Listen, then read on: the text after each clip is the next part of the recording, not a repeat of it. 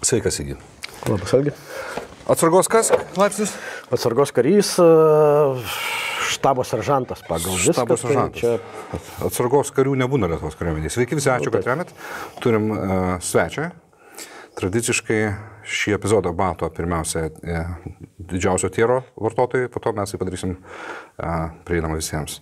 Ir ant karšto mes čia, kol dėliojau kameras ir mikrofonas, e, kaip tik užėjo pas mus off-camera kalba apie tai, kad tu sakai, kad tau padarė labai labai slogų įspūdį tas faktas, kad rusai naudoja išdegin- išdegintos žemės taktiką, nors karyboje tai daro paprastai besitraukiantysis, o rusai tai tiesiog teroras prieš civilius, taip? Tau tas akivaizdu yra? tai, tai tiesiog faktas ir tai rodo daug sugriautų miestų ir, ir, ir kaimų. E, Mano supratimu, jeigu tu puoli kažkokią šalį, tu nori užimti teritoriją, miestus, kad ateityje juos kažkaip tai eksploatuoti, jais naudotis ir taip toliau panašiai. Bet šiuo atveju, kai tu gauni užimdamas teritoriją tik tai griuvėsius, mm. be jokių gyventojų, gyventojų pykti, tai ką tu ten toliau veiksi, aš niekaip nesuprantu. Tu matai gyventojus, apie kurių pyktį tu kalbi. E, Ar tu esi susidūręs savo kailiu, pamatęs vakarykštį Ukrainos vatniką, kuris per bombardavimus staiga tapo ukrainiečiu ir visiškai ją lojaliu piliečiu? Yra labai daug žmonių, kurie tiesiog laikė Rusiją vis dar brolišką tautą, nežiūrint į tai, kad po 2014 metų ten buvo Luganskas nu, atkirstos tos teritorijos, at, atkastos. Bet po šito, po vasario, reiškia, įsiveržimo, tai mm. nesakau, kad pas visus ten ir, ir dabar dar yra tų, kurie laukia, ir, mm. bet, bet labai daug žmonių tai apsivertė. Mm. Ir tiesiog e, atsirado neapykanta, aš pasakysiu, ne tai, kad nemėgsta, ne tai, kad laiko priešišką Jo. tautą, bet tarp pačių ukrainiečių yra šneka tokia, kad e, jie tiesiog, jie šimtų procentų šves pergalę ir jie ją šves ne Kieve, o Maskvoje. Jie rimtai. Ne? Taip. Tai čia yra nepaprastai svarbu. Jie sako, kad jie pergalę šves Maskvoje, o tai reiškia, kad e, atsėmė visas žemės savo, jau ten, aš turbūt nekalbėsiu apie tai, kad Luganskas ir Donetskas ir Krymas bus atsimti, tai čia faktas, nors kai kurie žmonės galvoja, kad grįž tik tai iki 2014 tą lygmenį. Mhm. Tikrai ne, E, bet, ta prasme, įvairiuose lygmenyse, aš kalbu ne tik tai gyventojai, bet ir, ir kariškiai, jie pasiruošę varyti toliau. Tai jeigu aš teisingai suprantu, jeigu teisingai e, virškinu ateinančią informaciją, matome viena vertus labai didelį ryštą, ką tik minėjai. Taip. Kita vertus ateina nemalonių dalykų, kuriuos mes turėtume paliesti. Tai yra kalbos, kad ukrainiečių karininkija vis dar yra sovietinė. Kalbos, kad ukrainiečiai taip gerai kovoja ne dėl to, kad jie tokie geri, o dėl, dėl to, kad... kad rusai dar šudinesni. Taip. Kiek tu gali apie tai kalbėti, būtų labai įdomu. Nes Nu, e, ga- ko, ko, ga- ko nesinori, kad čia būtų, žinai, Galima apie tai pakalbėti. Iš tikrųjų, mhm. Gal paėmus, sakykime, tai palyginimui Lietuvos ir Ukrainos kariuomenę, kai kas sakytų, kad negalima lyginti, nu, tie, kurie žino, kaip ten yra.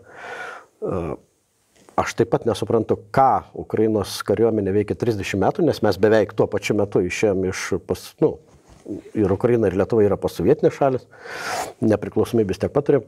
Ten ir kariuomenė situacija yra vis, vis dar postsovietinė. Mhm. Sakykime, valdymo sistemos ir taip toliau panašiai. Seržantas Ukrainos kariuomenė nėra toks seržantas kaip Lietuvos kariuomenės seržantas. Eilinis kareivis. Aš pasakysiu taip, Lietuvos kariuomenės skyriaus vadas drąsiai galėtų vadovauti minimum būriui. Okay. Sakykime, atlikti būrio vado pareigas. Mhm. Lietuvos kariuomenės skyrius. Čia Lietuvos kariuomenė tas e, armijos stuburas, tai yra puskarininkis, tai yra faktas. Ten to nėra. Mhm. Seržantai netlieka tos funkcijos kaip, kaip e, žemesnio rango vadai, kurie yra tie žmonės tarp karininko ir kario.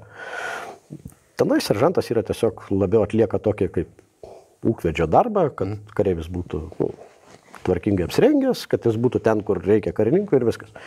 Bet jis pats e, nevadovauja jokiam operacijom, visą kitą, tai mes mokymų metu bandom tą dalyką paaiškinti, kad vis dėlto skyriaus vadas jis turi vadovauti. Jis savo negali tą kariams. paaiškinti per vieną kartą, tai tu turi pas, pasikeisti. Ne, ne, ne, laiko. tai mūsų mokymas trunka irgi ne viena diena. Tai, a, bet čia aišku labai didelis įdirbis, aš prisimenu, kaip mūsų kariuomenė buvo 95 metais, tokia pati situacija buvo. Tas pats šūdas buvo. Nu, taip, kol net važiavo uh, tiek Britų, tiek uh, amerikiečių ir kitų šalių instruktoriai, švedai, danai. Ja. Ir, ir pasakė, sako, žiūrėkit, nu, tai mes darom taip, gal ir jūs pabandykite. Ir, ir, mhm. Pasirodo, viskas puikiai veikia.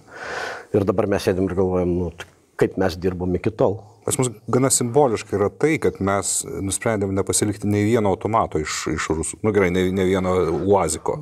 Ir darėme viską nuo nulio. Čia kalbam ne apie Lietuvą, o apie kariuomenę. Jo, aš suprantu, bet mes kalbam apie Lietuvos kariuomenę. Mes, mes tiesiog neėmėm ne nieko, kas, ką jie būtų galėję palikti. Mes viską darėm nuo nulio. Lietuvos kariuomenė turi skiriasi nuo policijos. Taip. Mes darėm nuo nulio. Taip. taip. Ir tas, tas, tas, tas parodė, kad buvo teisingas požiūris. Taip. Beje, Estai tą padarė, Latvija to nepadarė ir turėjo problemų labai didelių. Kad jau Latvija, aš bijau, kad po to pamiršiu, Kaip tu vertini Latvijos kariuomenę? Nes kaip tik vakar buvo truposiuose žiniuose, kad jie poligoną ketina atidaryti. Man tai ten kažkaip liūdnai atrodo, bet gal aš nežinau. Visų pirma, man labai liūdna, kad iš tikrųjų Estai ir, ir, ir Latvijai gauna, sakykime, labai didelius pastiprinimus. Tai virš 3000 ir daugiau karių, kaip Estai gauna netgi Britus su visų liktuvnešiu. Tai vat, mes Paramos. su Saudrim kalbėjom kažkaip. Kanada, Kanada vėlgi pasiruoš, pasiryžusi netgi duoti 6000 Latviam karių su visa ginkluotė, su viskuo, atsižvelgiant jų infrastruktūrą. Nu, realiai Latvija ką turi, nu, Adažį poligoną. Kuris... Jo, jo neužtenka. Ne, ne, tai aš, aš neįsivaizduoju, tiesą sakant, kur Latvija tai gali tiek sutalpinti. Kas čia, ar čia yra kur nors kaltų, kad čia mūsiškių, kad Landsbergis išvažiavo atostogauti, aš manau, kad net tame esmė. Gal mes tiesiog esame stipriausi ir dėl to mums tiek nereikia kol kas. Visų pirma, kas, kas moka ant pirštų sudėti, pamatys, kad Lietuvos kariuomenė yra tokio dydžio kaip Latvijos ir Estijos kartu sudėjus. Pradėkime nuo to. Mhm. Ja. Tai, tai, kad Lietuva atsidarė, e, padidino poligonus ir atidarė naujus, tai čia seniai taip turėjo būti. Mhm. Gerai, grįžkime mes į Ukrainos dalykus. Yes, Ukraina. Tu esi ten, gerai, padarykim tai, ką aš praleidau padaryti. Ką tu ten darai? Instruktažo vadas? Kad... Taip, pas mus iš pradžių mes neturėjom jokio pavadinimo, kol tiesiog žmonės sako, tai kaip jūs vadint, kas, mhm. kas jūs tokie. Tai mes esam gyvačių sala. Ne, ne. Nuo pradžių, nuo pradžių. Vasario 24. Rytas. Taip. Ką darai tada? Aš buvau švedė. Pradėkime nuo to. Aš buvau švedė, kai, kai išgirdau, kad per televiziją, kad Zelenskis pakvietė užsienio karius, mhm. arba, sakykime, viso demokratinio pasaulio karius prisijungti prie, prie kovos už Ukrainos nepriklausomybę. Tai buvo penktadienis. Tai pirmas penktadienis po 24, tai čia galima būtų pasižiūrėti kalendorių, nesvarbu. Ar man atrodo buvo ketvirtadienis, nes aš su Liudu Dabkom turėjau laidą. Ar aš išgirdau Radio? penktadienį, bet...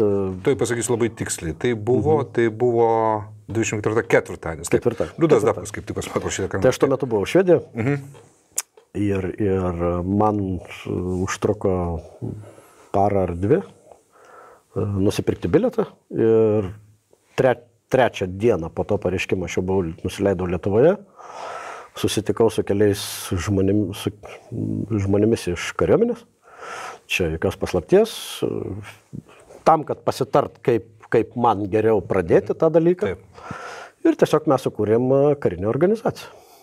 Tavo e, pirma, pirmas uh, impulsas buvo kariaut ar mokyt kariaut?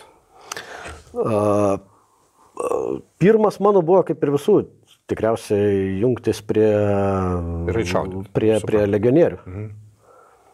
Bet kai aš atvažiavau į vietą ir susitikau jau su ukrainiečiais, arba tiksliau su tuo kontaktiniu žmogum, kuris mhm. tai, tai yra ir dabar jis dirba, jis Ukrainos kariuomenės žvalgybos karininkas, majoras, tai jis mane nurimino, sako, palauk, palauk, sako Žvalgybos karininkas, tai čia elitas, taip išėjo. Taip.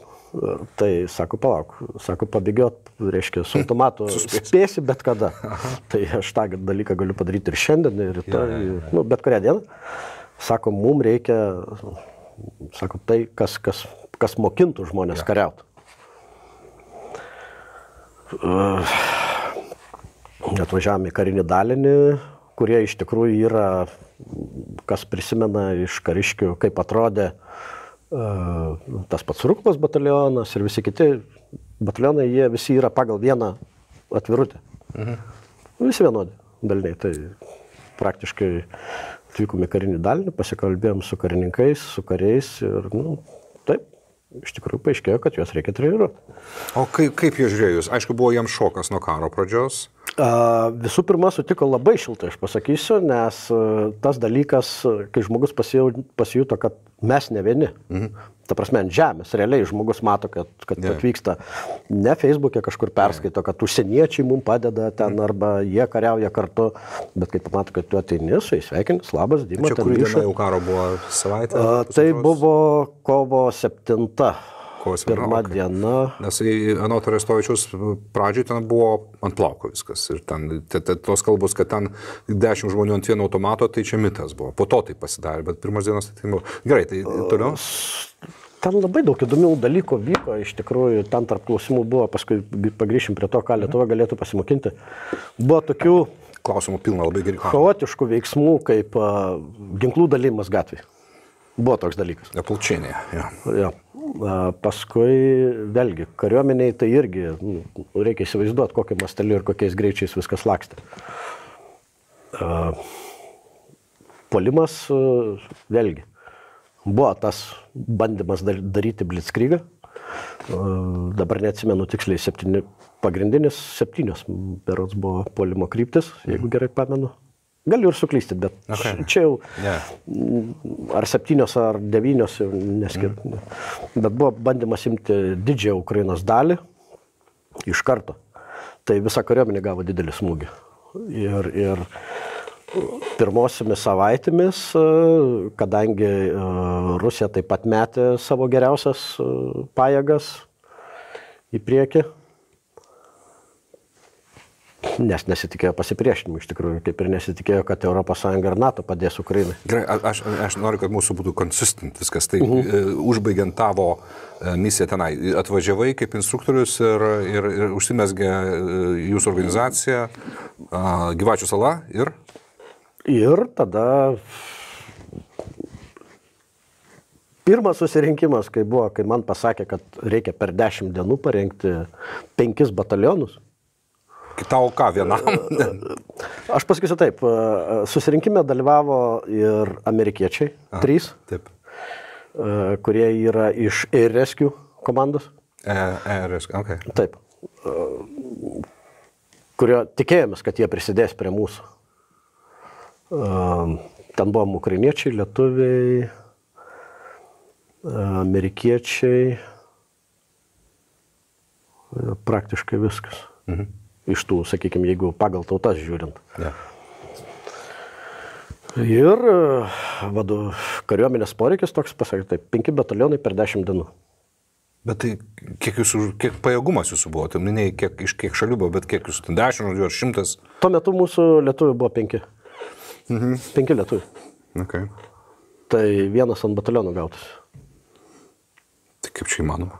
Aš nežinau, nes Lietuvos kariuomenėje visi labai puikiai žino, kad idealiu atveju turi būti vienas instruktorius ant dešimt žmonių. Mhm. Tada tu gali visus stebėti, sukontroliuoti ir taip toliau panašiai. Bet Okay. Bet matyt, kompensavo tą dalyką jų noras toks, mokytis. toks poreikis buvo, sakykime taip. Tuomet. Bet jų noras mokytis kompensavo. Tu, A, taip. Mhm. Taip. Paskui antrą dieną, reiš, gerai, reiškia, mhm. poreikis toks.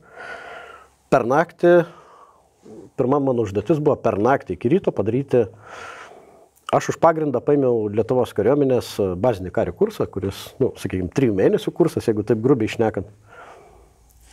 Yra išmetimo principų maždaug šitas vėliau, palauks, palauks, palauks, palauks. Mažinau, mažinau, man pavyko sumažinti tik tai iki pusantro mėnesio. Mhm. Tada iš to vėl, nes viskas atrodo svarbu iš tikrųjų, kariui. Išmečiau dar kai ką ir, ta prasme, liko tokios ašarėlės. Nu, tai veiksmai su ginklu, judėjimas atviroje vietoje, miškingoje, šaudimo pozicijos, veiksmai puolime, veiksmai gynyboje, tokie labai elementarūs dalykai. Mhm. Ir, ir po šiai dienai su paskutiniais dviem batalionais mums pasisekė, kad e, vietoj dešimt dienų, ta prasme, atidėjo jų išvykimą ir turėjom progos juos treniruoti tris savaitės. Tai čia buvo labai gerai. Mhm. Čia buvo labai gerai. Uh, dėl ko ten įsiplėčiau, dėl tų reguliarių pajėgų sudaužimo, tai faktas, kad Ukrainoje, kaip ir visose šalyse, yra ir karininkų akademija, ir seržantų, reiškia, tas parengimo centras ar kaip.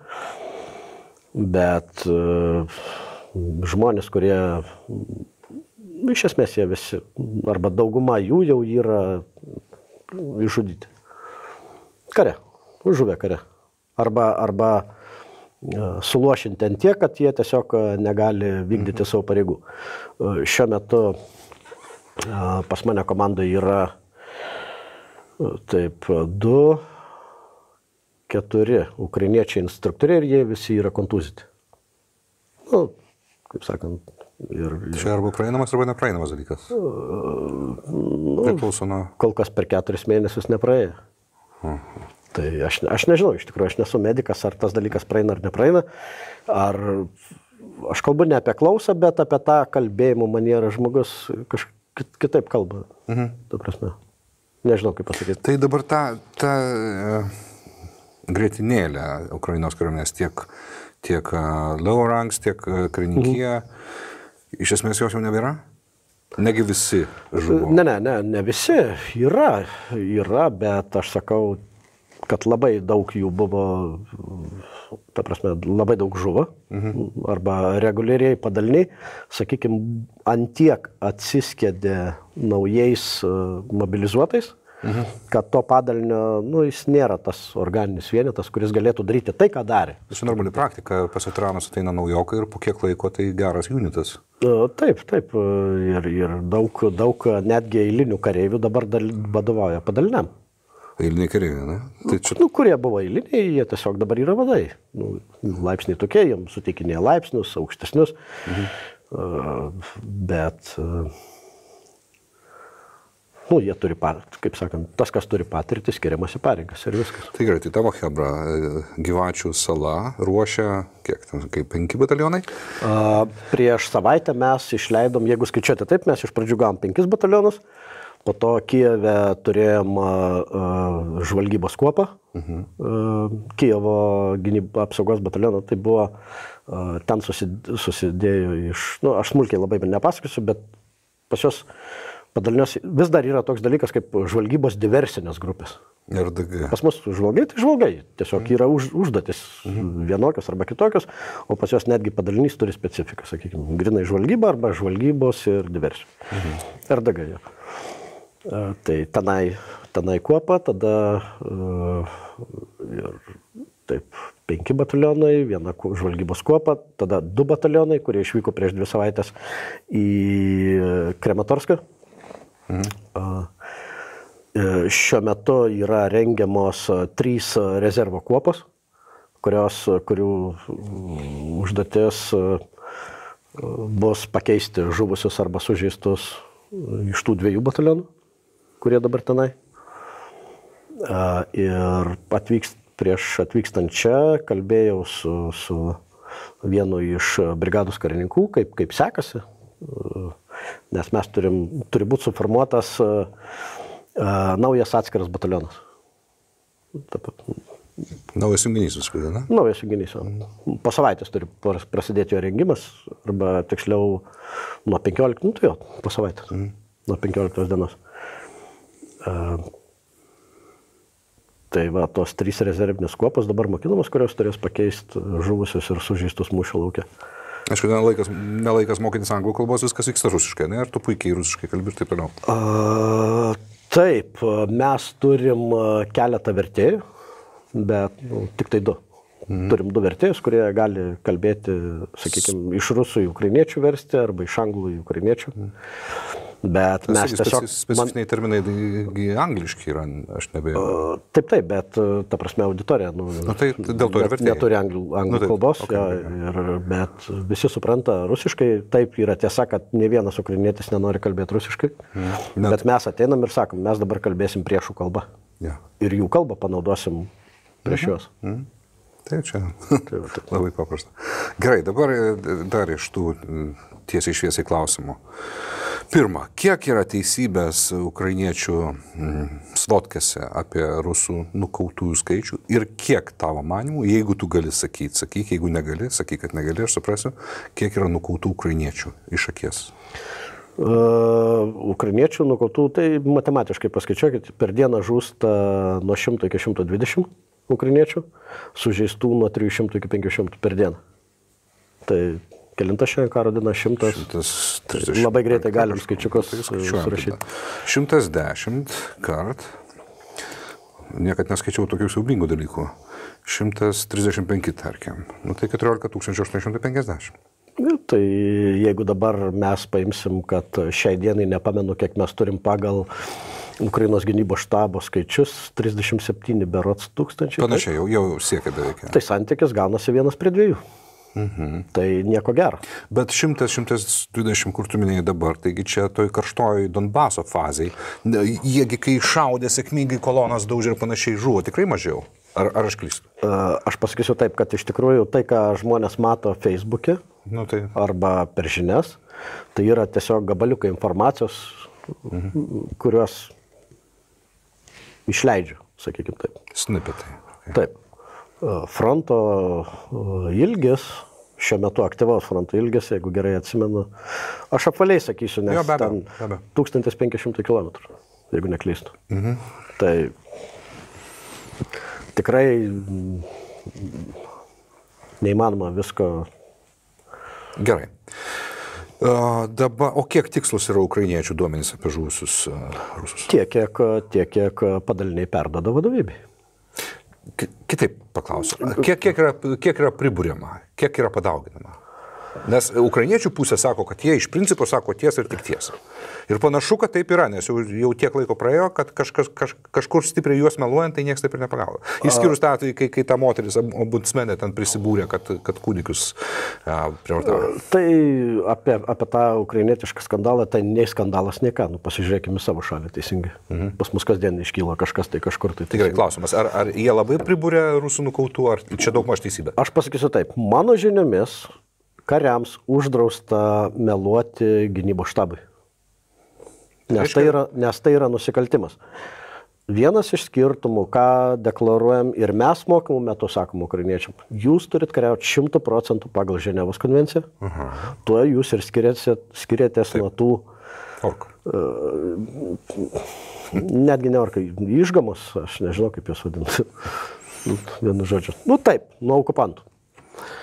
Todėl jie ir yra, sakykime, balta ir juoda, teisingai, arba mhm. tas geris ir blogis, Taip. tas saulė ir mėlynas. O kad šitą palėtį, e, aš stebiu tokį fenomeną, labai nemalonu čia Lietuvoje.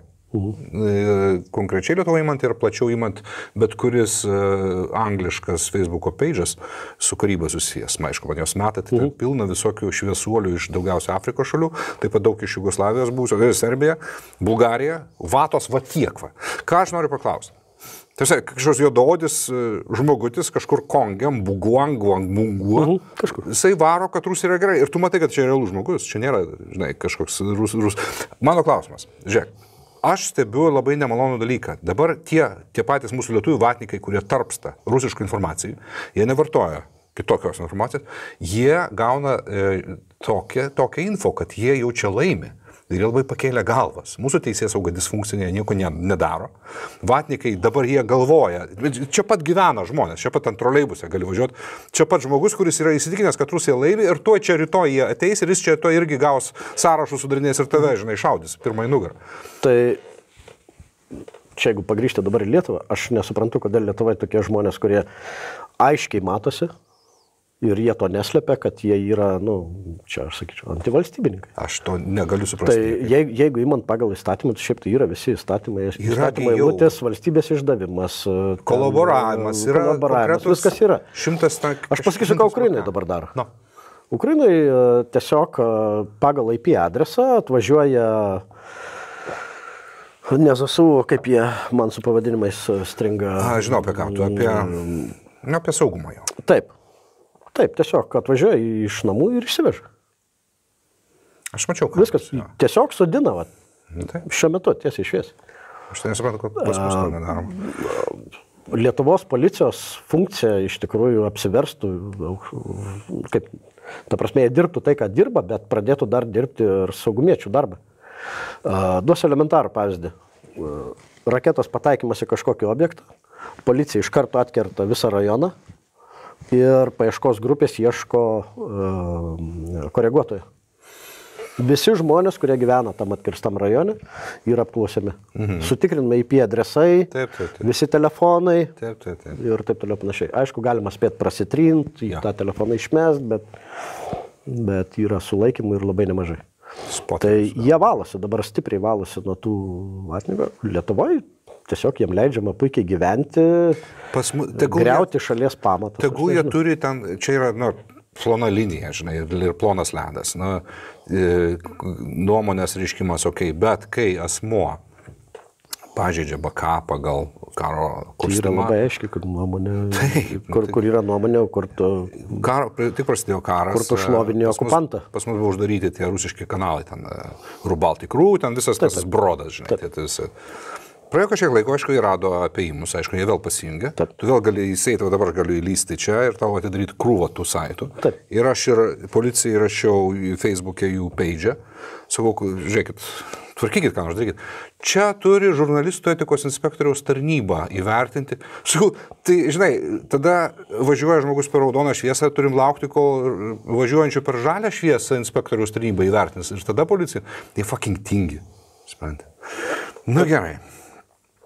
Oi, tie tinginiai. Policija dabar, žinai, aukšti reitingai, visuomenė pasitikė ir, nu, ir teisingai, nes policija taip, tikrai dabar... Jau... policija viskas gerai, yra tvarka. Taip, bet jie dabar ant lauro jau užmigų ir jie netlieka savo fucking darbą. Pilnas, pilnas Facebookas yra vatos, kuri pažeidžia įstatymus pagal BK. Gerai, Sigi, ką nors dar prieš klausimus, ką mes čia... Kaž... Gerai, aš eigoju, jeigu kas šaus dar man. Ir kaip ir sakiau, labai geri klausimai. Ačiū, Hebra, kad parašėt. Ir pradėkim tada, aš daug maž sugrupavau. Modukas klausia, kaip sekasi apmokyti ukrainiečių karius, koks jų progresas, kodėl nepasėjimat Olego Mago į kompaniją? Tai...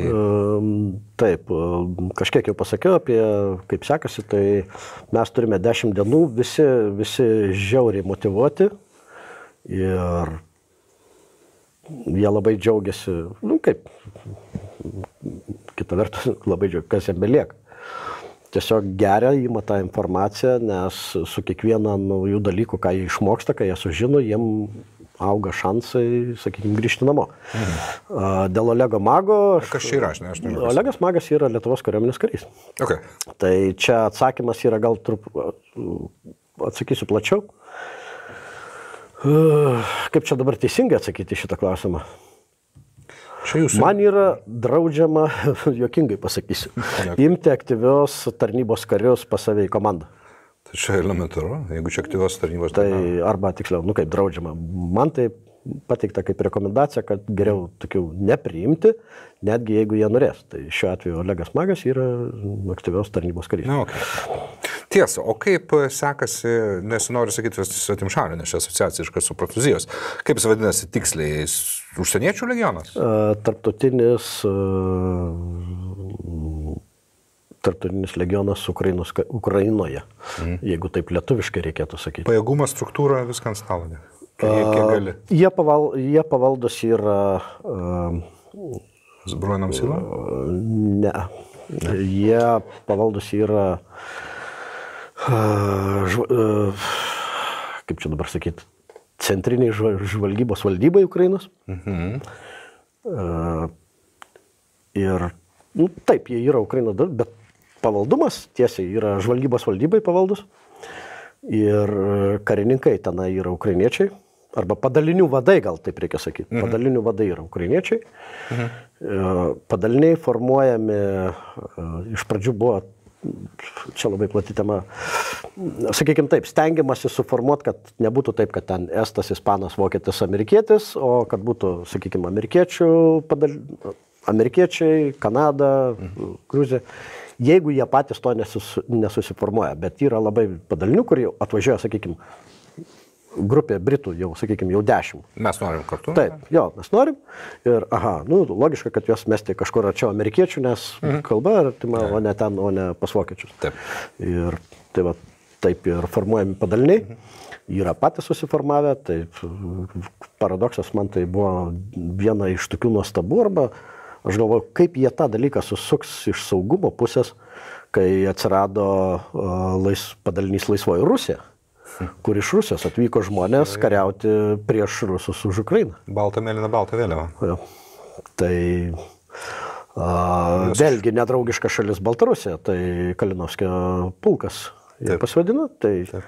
tai yra istorinis junginys, kuris turi stiprius saitus ir istoriškai su Lenkija ir su Lietuva. Ir jie irgi atvyksta grupėmis. Mhm. Tai kiek aš žinau, tas e, rusų dalinys yra išskaidytas jų pačių saugumui, ten patikimo į laisvę atveju. Gerai, o kiek ten uh, durtuvų? Apie legioną kalbam? Mhm. Virš 20 tūkstančių. Ir dabar gali nuskambėti keistai, kad būtent ties tuo skaičiu, arba, saky, kuris tuo 20 tūkstančių ir stengiamasi sustoti, uh, nes e, pakėlė, nu kaip nes, ir būtent dėl to pakėlė e, Kartelę. reikalavimus. Aha. E, pavyzdžiui, pradžioje batalionų nebuvo užsieniečių legionui. Legionui nebuvo keliami reikalavimai combat experience, tai kovinė patirtis. Mhm. Ir amžiaus cenzas buvo 55. Maksimum. Taip, taip. Dabar amžiaus cenzas yra 50. Ir, ir, ir privaloma karinė, pat, kovinė patirtis. Mm. Ne, taip, kad neužtenka, kad tu tarnavai kariuomenį, bet, mm. arba ten, bet jau turi būti kažkokia tai, aišku, reiškia. Gerai, o kiek ten lietuvių visiems įdomu? Šito sąrašai įslaptinti, šito aš, aš irgi nepasakysiu. Bet Kažkiek tikrai yra, ne? Be abejo, be abejo yra ir, ir tikrai ne vienas ir aš esu tikras, kad ne dešimt, netgi daugiau. Mhm. O e, gerai, kiek jie pergalių turi, kiek, kokie jų, kaip juos žiūrima yra, tai pergalės kariai? Regionas? Taip, vienas iš paskutinių gal tokių pavyzdžių Sevrodonetskė, kai buvo, kad uh, ukrainiečių kariuomenė, kai buvo jau beveik išstumta iš Sevrodonetsko, Tai 300 atvykusių legionierių praktiškai per parą laiko atkovojo pusę miesto. Mhm. Išvėjo. Bet tai yra ne tik tai, sakykime, kovinės patirties reikalas, bet ir patys rusai, žinai, kai pamato vėliavas Kanada, Ispanija, žinai, yes, Amerika, kai lekia, žinai, į priekį, tai supranta, kad to įgausi skudrus. Ir, ir, tai, tai. O... Vengia, gal taip sakysim, rusai vengia tiesiog susidurti su legionieriais, nes žino, kas bus. Tai visiškai normalu turbūt, e, kad legionieriai yra tiesiog geresni kariai negu... Tai be abejo, jie su patirtim. Didelė kovinė patirtis, tas pats įgūdžiai naudojant ginklus, jų ginkluotė vakarietiška. Mhm. Naktinio matymo prietaisai, tolimačiai. Mhm. Gal reikėtų pasakyti taip, kad, kaip ten sako kariškiai, ginkluoti iki dantų. Legionieriai turi viską. Pasakysiu taip, dabar legionas turi penkis sandėlius kvadratiniais metrais, aš dabar nepasakysiu, nes nesu didelis logistas. Sakykime, nuo sienos iki sienos, iki lubų privaryta dėžių su įvairiausiam granatom, dževelinais, enlavais, be, bet kokiais kulkosvaidžiais mhm. ir taip mhm. toliau panašiai. Gerai, tipiškas e, legiono junginys. Taip. Tai jie batalionais eina ar ten tik? Ne, ne, ne. ne. Kopos? Ar, ar ten turbūt pagal paskirtį, ne? Yra, yra Nežinau, kaip tiksliai pasakysiu, taip, šiuo metu legionas, jeigu kas mane girdi, nu, aišku, Lietuvai sunku gal, kviečia tokius žmonės kaip A10, F16 pilotus į tarnybą prisijungti. Kodėl? Ir kaip? Kodėl? Todėl, kad labai greitai tie naikintuvai bus Ukrainai. Čia tikrai. Taip. Žiūrėk, aš karo pradžioje kažkada pusiau jaukais pasakiau, kad F-35 tikrai bus, tik klausimas kada. Ir aš dabar manau, kad F-35 tikrai bus. Aš paaiškinu labai Bet paprastai, kaip, kaip ta informacija ateina tokia, e, kaip ir minėjau, legionas pavaldus tiesiogiai žvalgybos valdybai, mhm. Ukrainos kariuomenės. Ir jeigu legionieriai, o tokių mes NATO šalise, sakykime, mo, mo, mokan, mokančių naudotis arba, sakykime, pilotavusių F-16 ir A-10, ja. tai mes žinom, kokio, kuriuose šalise yra. Ir tie žmonės yra, sakykime, šiuo metu neaktyviai tarnybai. Ir jie puikiai gali grįžti ir toliau su, su Thunderboltų prasilėkti virš, Bet sakykime, Thunderboltui reikia, reikia s- giedro dangaus. tai tam yra F-16. Bet F-16 nėra penktos kartos. Lyginant su, su tuo, ką... Tai kada bus F-35? Aš manau, kad jie bus, jie turi būti. Tai anksčiau ir vėliau bus, aišku. Nes būtų kvaila jų neišbandyti. Manau, kad taip. Na gerai. Na gerai. Tai rezumuojant, reiškia, kalbos, tos, kurias nedrasiai čia pradėjo girdėtis tik kokią savaitę ar dvi prieš, apie tai, kad ukrainiečių pilotai jau mokomi skraidyti būtent F-16, Taip, tai jos tenai jau eina pilna, pilna koja? Mm, taip nes... Jau nebejojame, kad bus. Tai ir sakau, šiuo atveju, jeigu pa- gauti pilotus kaip legionierius, tai jų nereikia ties- net apmokinti tiesiog. Gerai. Sėda ir, ir, ir, ir varo. Uf, gerai.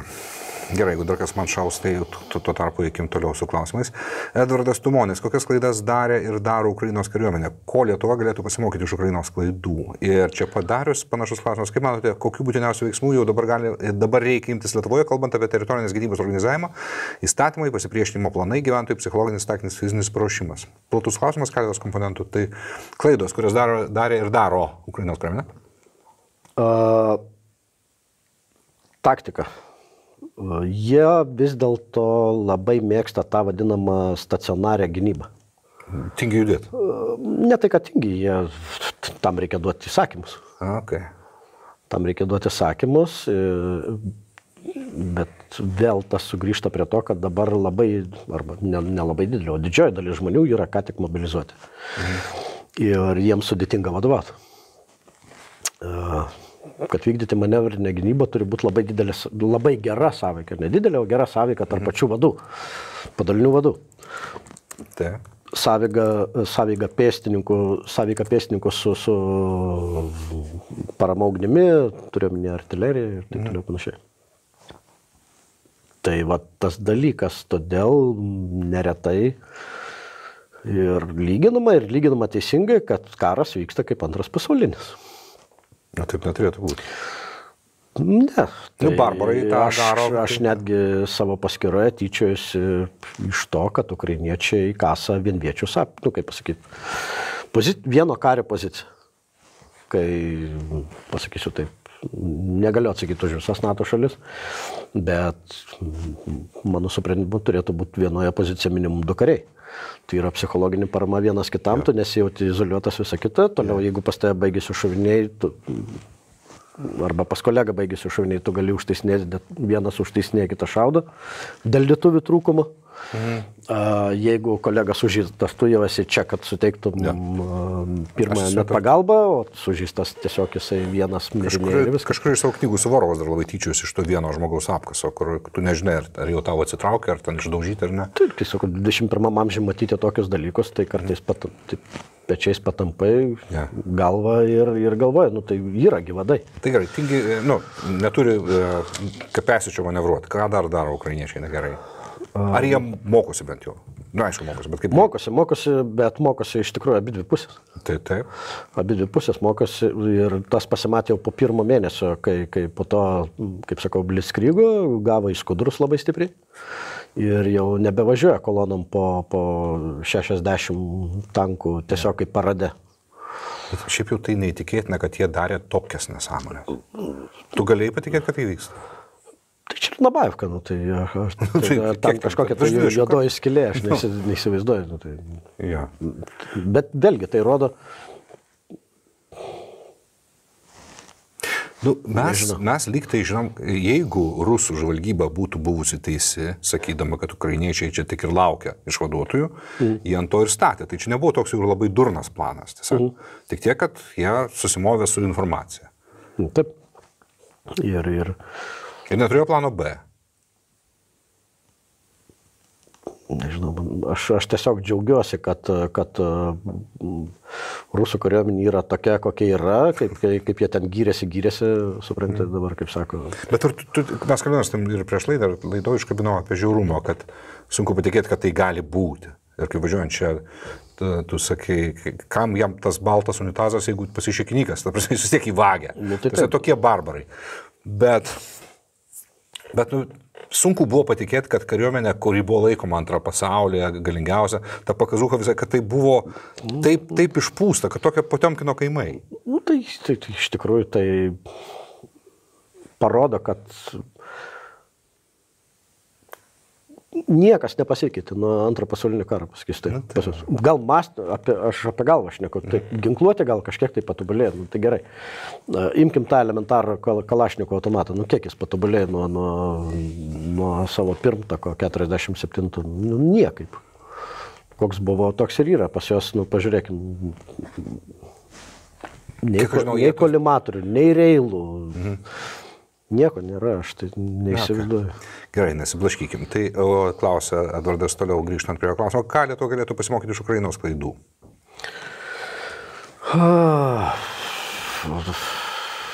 Taip, iš Ir, tikrųjų. ir, ir Darius, kokiu būtiniausiu veiksmu jau reikia dabar imtis Lietuvoje?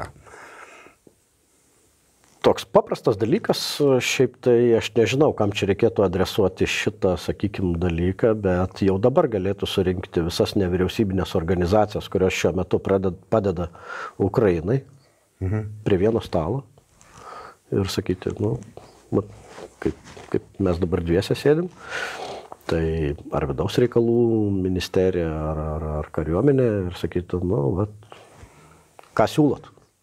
Jūs ten buvot, matėt, ką siūlot. Tai gal tai... Tačiau aš nebejoju, taip, tai aš ką noriu pasakyti, mhm. tačiau aš nebejoju, kad, dalykų, kad tokie dalykai ir vyksta čia vat, visuomenį pasakyti. Ir žinant, vėlgi, suvalkų kalidorius.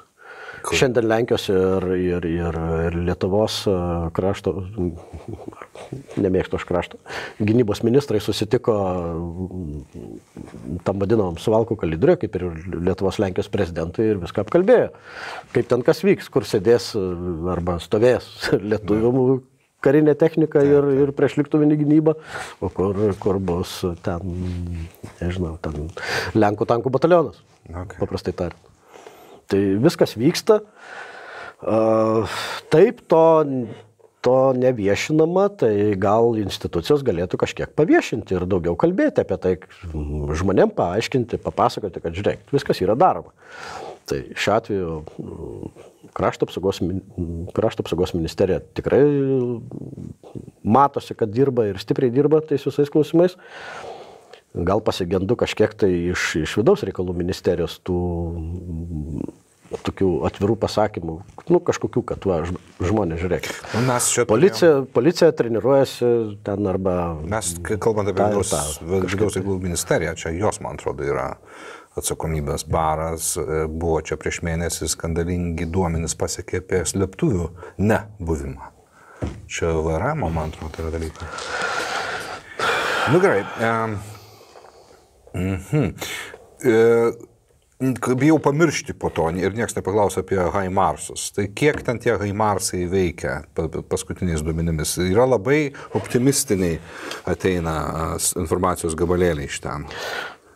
Jeigu paprastai, tai ir visas pasaulis ir ukrainiečiai reikia, tą žinai žodį, 300, 300, 300 neskaduotų.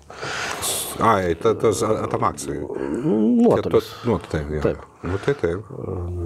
Bet tas 80, vėlgi aš čia nesigil, dabar nelysiu giliai į taktikas ir gynybos ir polimo gilius. A, 80 dabar puikiai dirba ir tai yra pradžia. Ir savo paskyroje rašiau žmonėms, sakau, nu žiūrėkit, nu paimkite vieną Haimarsą ir keturias, pavyzdžiui, keturis konteinerius.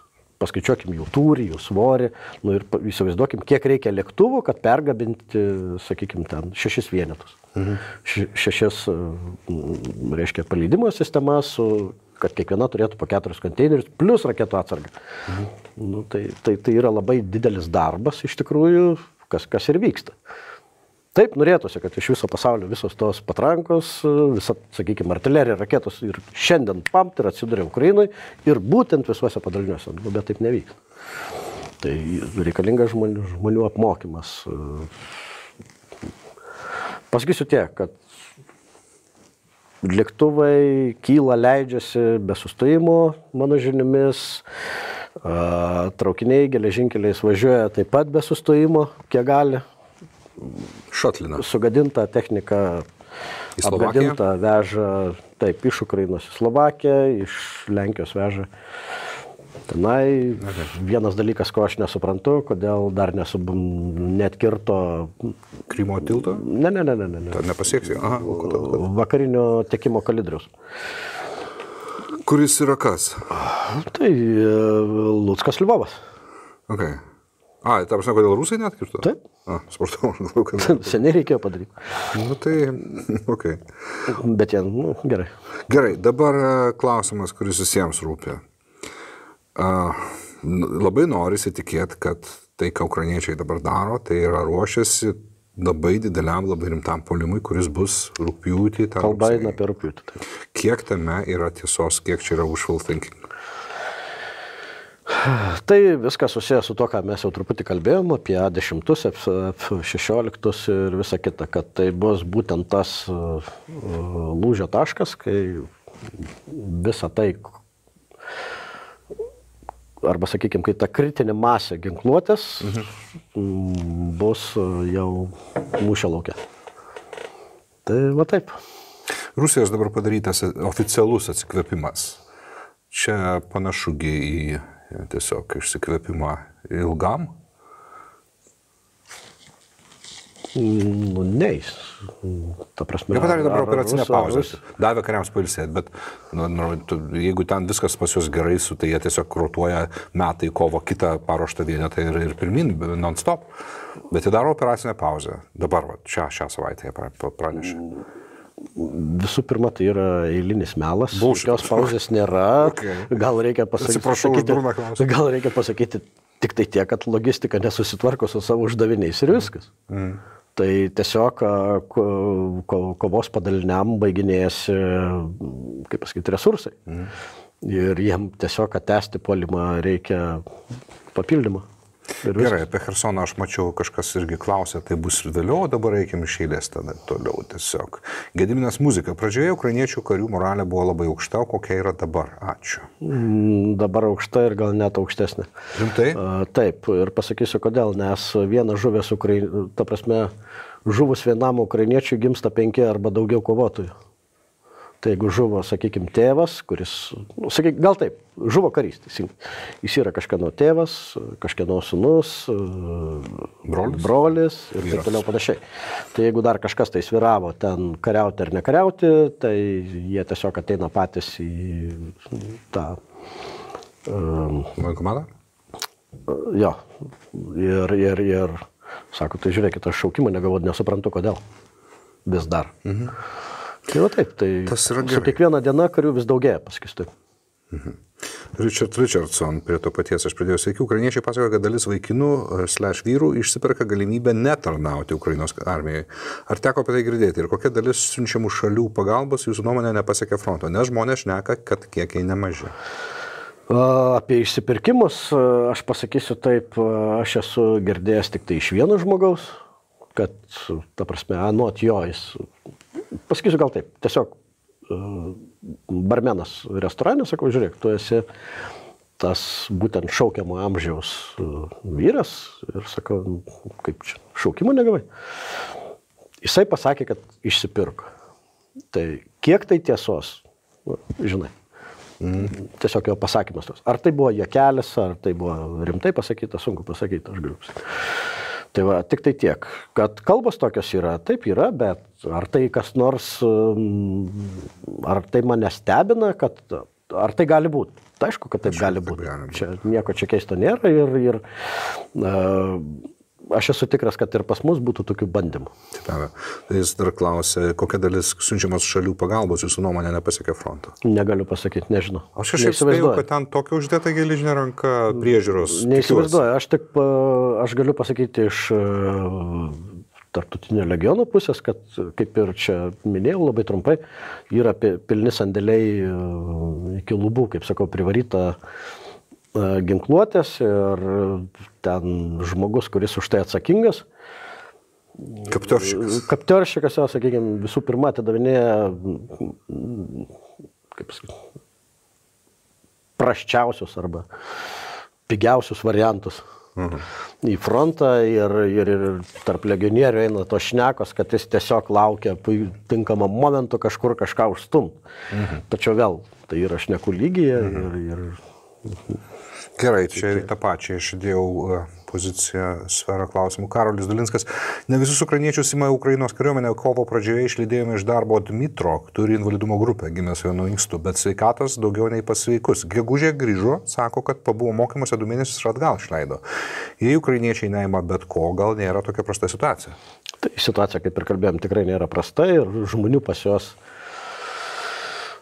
pas juos yra, trūksta ginkluotės, bet čia nieko naujo nepasakau. Gal tiesiog bendrai pasakysiu, kaip vyksta šaukimas ir žmogus atvyksta į vadinamą vajankomatą, jis atvyksta pagal sąrašą, pagal gyvenamą vietą, paimkim kokį čia miestą, nu gerai, paimkim Vilnių. Abicėlinė tvarka, A, paskui B gyventojai, viskas, amžiaus grupė tokia, su Exceliu profiltravo, matosi, kas e, tarnybą atlikė automatiškai vadai, mhm. vienas sąrašas, tie, kurie nevykdė tarnybos, tiesiog mobilizuojami. Mhm. Medicinė komisija vyksta taip, ateina žmogus, sėdi daktaras, e, jis pasižiūri taip, galva turi, rankos yra, kojas dvi yra, akys, ausys. Uh, iPhone? Tinkamas. Okay. Tinkamas. Uh, uh, jeigu fronte žmogus sužeistas, jis uh, gydomas, ta prasme vežamas, nesvarbu kiek reikia, ir vėl grįžta į frontą.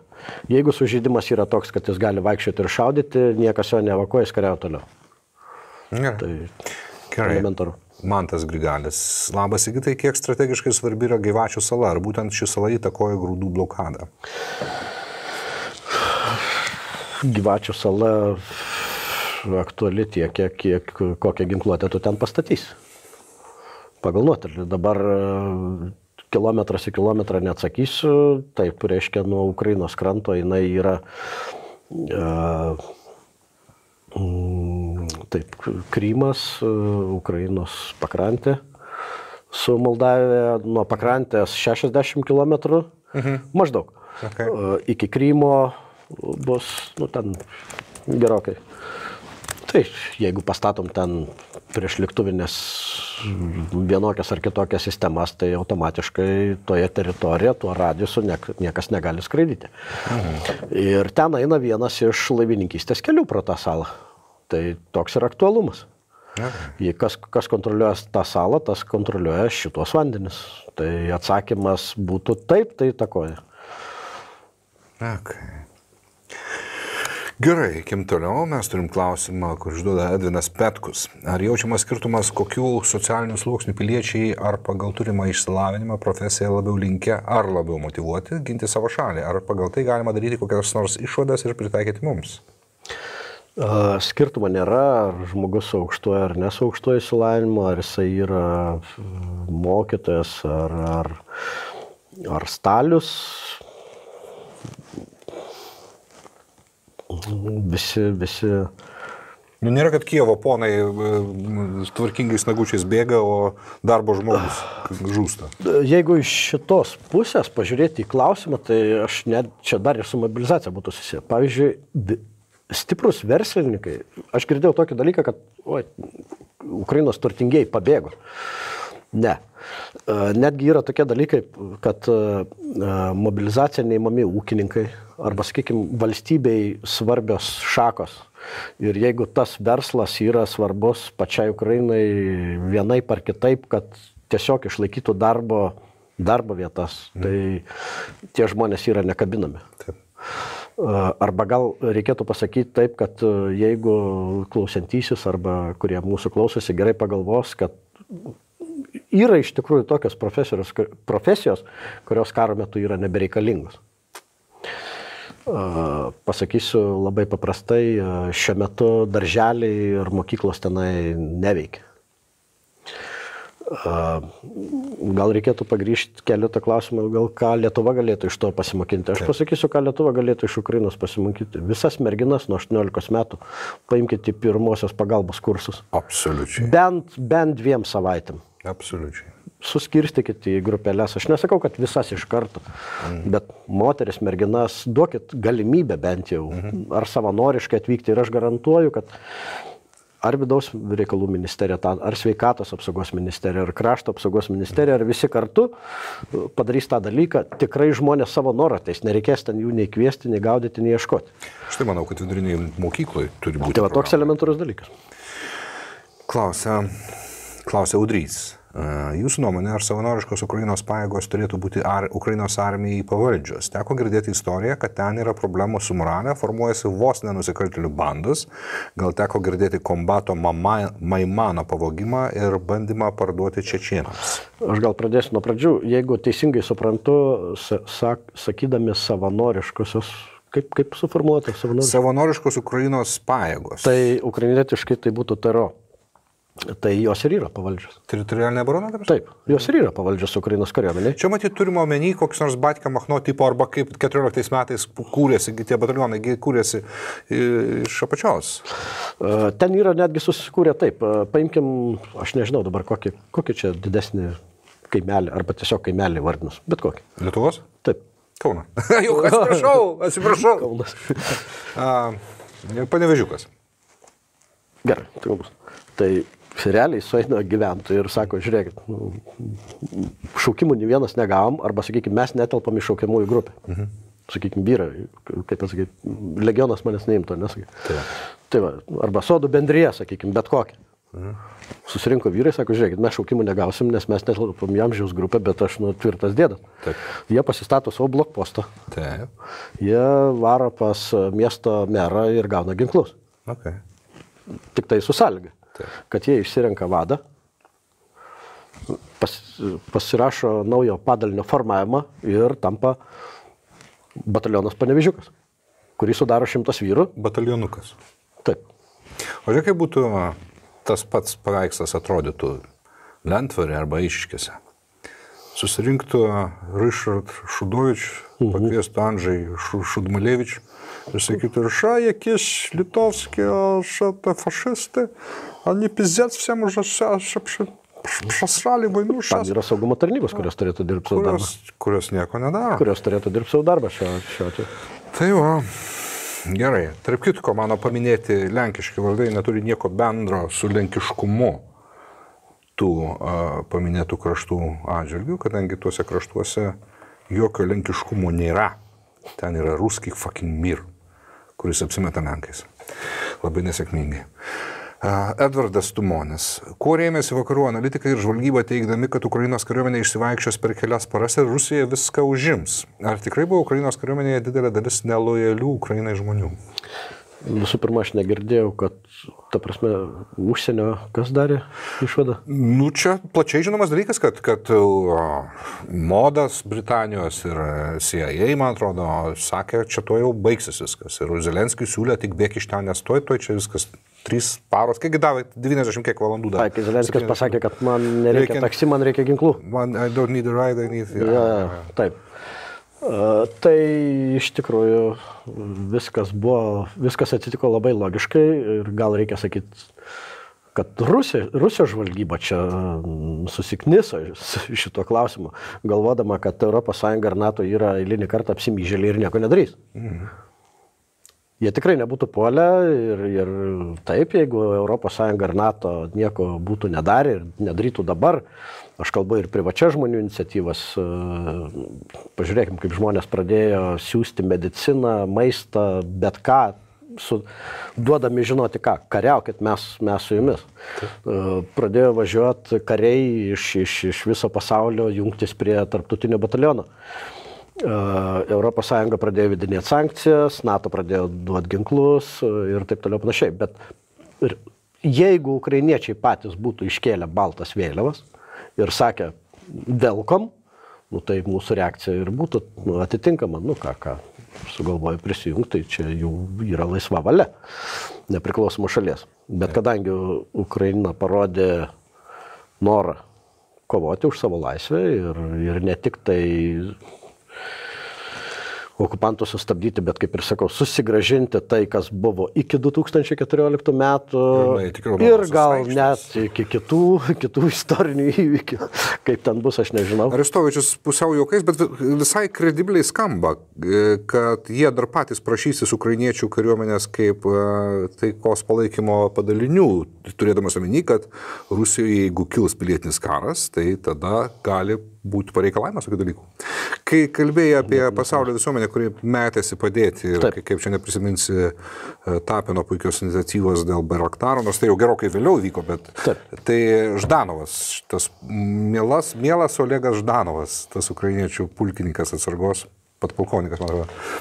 Tai jis šiandien girdėjau per YouTube, YouTube savo kanalą pasakė, kad vot Litvė, sako, Lietuvoje buvo gyvygi, padarė net flashmobą surinkti Bairaktarą. Jis, jis juokingai nesusigavo kai kuriuose žodžiuose, pavyzdžiui. Iniciatyva ir flashmobas, ne? Flashmobas. ir jisai sakė, na, aš jau sakiau šitą, jisai sakė šitasgi Ramstein, Messer Schmidtas sakė Mr. Schmidt. Ir sakė transporterį, vietoj transporterį. Jam reikėtų pasirašyti nautus kokius. Na, jisai geras vyras yra tiesiog žmogus, turi prastą detalę sunkesniem žodžiam. Su, su Andriaus e, ir Bairaktaro iniciatyva, tai mhm. man kas, kas man labai patiko, iš tikrųjų, kad būtent tuo metu buvo šnekama, kad va, žiūrėkit, mūsų tauta jau pavargo padėti. Kaip tik, nu jo, mes parodėm, kad ne. Ir čia bam, pasirodo, kad mūsų tauta, kai, kai, ir kaip, kai, kai reikia, kaip kai trigerino, ir koks tai buvo geras, e, ne, ne tiek pats fiziškai Bairaktaras, kiek, kiek nuėjusi iš tie ratilai nuo to. Pats veiksmas. Kokį sukėlė gerai. Eikim toliau, klausė Remigijus. Ar rusai užimtomis trašomis šers savo karius ar parduos badaujančiai Šiaurės Afrikai ir bandys klyjuotis išgelbėtojo etiketę, neva jie iš, tai, iš to hoso ištraukia maistą ir pristatė, kur reikia. Čia neklausimas, čia yra bairis. Taip. Remigijau, gerai, ačiū už nuotaikos pakelimą. Palauksim rudens, pažiūrėsim, ką jie valgys. Ne. Ja. Ten kažkaip keista, kai tu gauni tiek informacijos, kuri vienareikšmiškai rodo, kad nu ten tikrai bus žopa. O jie toliau, kaip niekur nieko, čia, nu, Putino atveju čia kažkokios psichopatijos forma. Nu, tai žmonės gali pasidomėti, ant kiek išvystyta žemės ūkio pramonė Rusija, kurie visą, visą, viską, viską import, importavo. Taip, mm. įskaitant tą patį cukrų grūdus iš Ukrainos. Mm. Man tikrai labai įdomu, ką jie valgys rudenį. Okay. Mantas Grigalis, ekspertai kalba apie karinį persilaužimą Ukrainos naudai rūpjūtį. Ar tai realu? Žinot, kad ukrainiečiams tikrai neblogai sekasi aplink Hersoną, gal ukrainiečiai galėtų išturmuoti ir taip pradėti rytų grupuoti. Ir čia pat Artūras Baranauskas, kaip manot, kaip atrodys Hersono išlaisvinimo operacija, tokia šis bus? Mes tą už... palėtėm truputį klausimą, bet plačiau kalbant dabar jau siauriau apie Hersoną.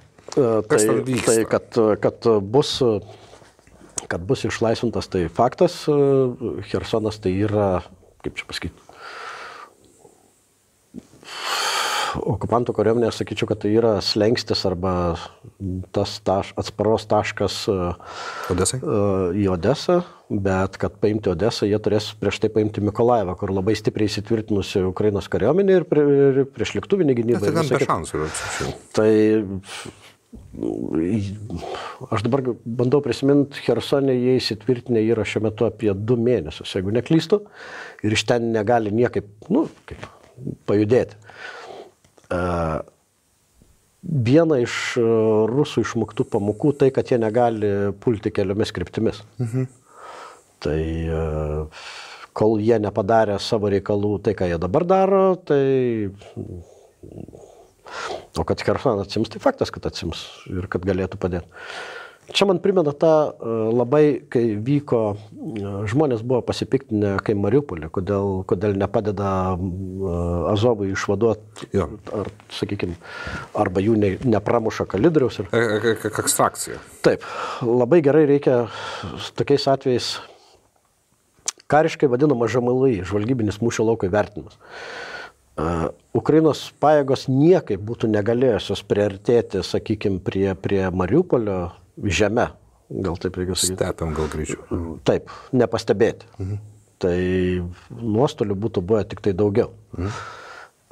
Azovas priešinasi tiek, kiek, kiek patys norėjo ir aš nesigilinsiu, bet tai gal reikia pasakyti taip, arba yra tas gravitacijos taškas, turi būti tinkamas momentas, sakykime, kiekvienam veiksmui. Mhm. Kaip ir Rusijos kariuomenė negali būti visam fronte vienodai stipri. Jeigu jinai vienodai visur stipri, reiškia, jinai vienodai, visur vienodai silpna. Mm. Tai tam yra žvalgybiniai duomenys, kurie rodo, kur jie eis, kur jie telkia pagrind, smūgį ir taip toliau panašiai. Ir viskas. Tai Ukrainai gerai, kad jie turi vadinamą gynybos gilį. Taip, ko mes neturime. Ko mes neturim. Mm. Tai ir viskas tikrai bus atsimta ir ką jie ten... Mhm. Mm. Tegu pasėdė tam Hersone, O kaip tu manai? Mačiutės pašaras apnuodytom bišniam. kaip tu manai, e, ar bus puolamas Hersonas tiesiai, ar jis bus supamas? Aš manyčiau, logiška būtų supt. Ir jie patys ant pasiduos, jiems tada atsibos turbūt jau. Vėlgi, čia iš kavos reik, reikalas tame, kad e, kaip šluoja visus miestus nuo žemės paviršiaus, tą patį padarys ir su Kersonu. Tu manai, ukrainiečiai išluos? Ne, ne, ne, ne, rusai, rusai, rusai. Juos iš ten išstumti, tai ten nedidžiausia bėda iš tikrųjų. Tai reikalas tame, kad kai tik tai ukrainiečiai užims Hersoną, kaip ir kitos miestus, jis bus nušluotas nuo žemės paviršiaus. Bet ar jie turės kuo šluoti visų pirma ir visų antra, kaip jie šluos, jeigu ukrainiečiai turės ilgą ranką, tai yra ne viena ir ne keturis Haimarsus, o pakankamai daug, kad, kad nu, tai užgniaužtų. Dabar jie, vėlgi čia dabar apie tą, mes visi suprantam, kad jie tiesiog kaip, netgi jeigu ir dabar jie norėtų atsitraukti mm. iš to Hersono, jie tiesiog to padaryti negali. Kada? Visų pirma, tai bus e, psichologinis pralaimėjimas. Ukrainiečiai pradės tikėtis, kad taip sėkmingai, nu, ne taip sėkmingai, turi pasitraukti ir iš kitų. Mhm. Kita vertus, nu, gerai, jie užėmė Hersoną nu, ir kiek jie ten sėdės. Tikslas, tikslas sėdėjimo ten, koks, kaip. kaip. Nu, jie labai daug reikšmės e, suteikia tom administraciniam linijom. Aš turiu menį, kad jie labai nori turėti Luhanskąją Narodinę Respubliką, kas yra Luhansko oblastius um, ribos, tas pats Donetskas ir tas pats jie su Hersonu, ta liaudės Respublika, kurie čia o iš oro, reiškia, gamina. Aš, aš Kersoną matau tik tai kaip sausumos kelią iš Krymo į... Tai čia tu. Taip. O rusų, rusams svarbu yra, kad tai yra Hirsonščina, kaip Hirsonskiai Krai, Hirsonska Narodų Respublika. Va, Nesvarbu. Gerai, apie žvalgybą paminėjai ir mes čia saudrum, aš taip nedrasiai, mėgėjiškai implikuočiau, kad Nu būtų keista, jeigu tokie dideli, galingi strateginiai žvalgybiniai orlaiviai kaip Global Hawkas, kuris mm. gali kabėti ten už tūkstančio kilometrų visiškai nebaudžiamas ir gali labai didelės raiškos mm. perduoti duomenis tiesiai telefonu ar per, ar per kur tik nori, ar tai vyksta? Prasme, taktiniam lygmenį Global Hawkas pamato, kad ten yra skladas orужio? Praktiškai visa žvalgyba, kuri arba žvalgybinė informacija eina iš, iš ten ir eina, iš, iš Britų ir amerikiečių oro or žvalgybos. Iš bet ko, ką jie turi. Visas. Tai rezoliucijos dabar leidžia pritraukti tiesiog paviršius tiek, kad tai tie privačių žmonių iniciatyvos, kur duoda tos vadinamus kvadrakopterius, visą kitą, Taip. jie lokaliai yra svarbus tiem padaliniam. Mhm. Labai svarbus. Bet e, aš kalbu apie Ukrainos, e, reiškia, e, karinės žvalgybos, tai visą informaciją gauna tiesiog.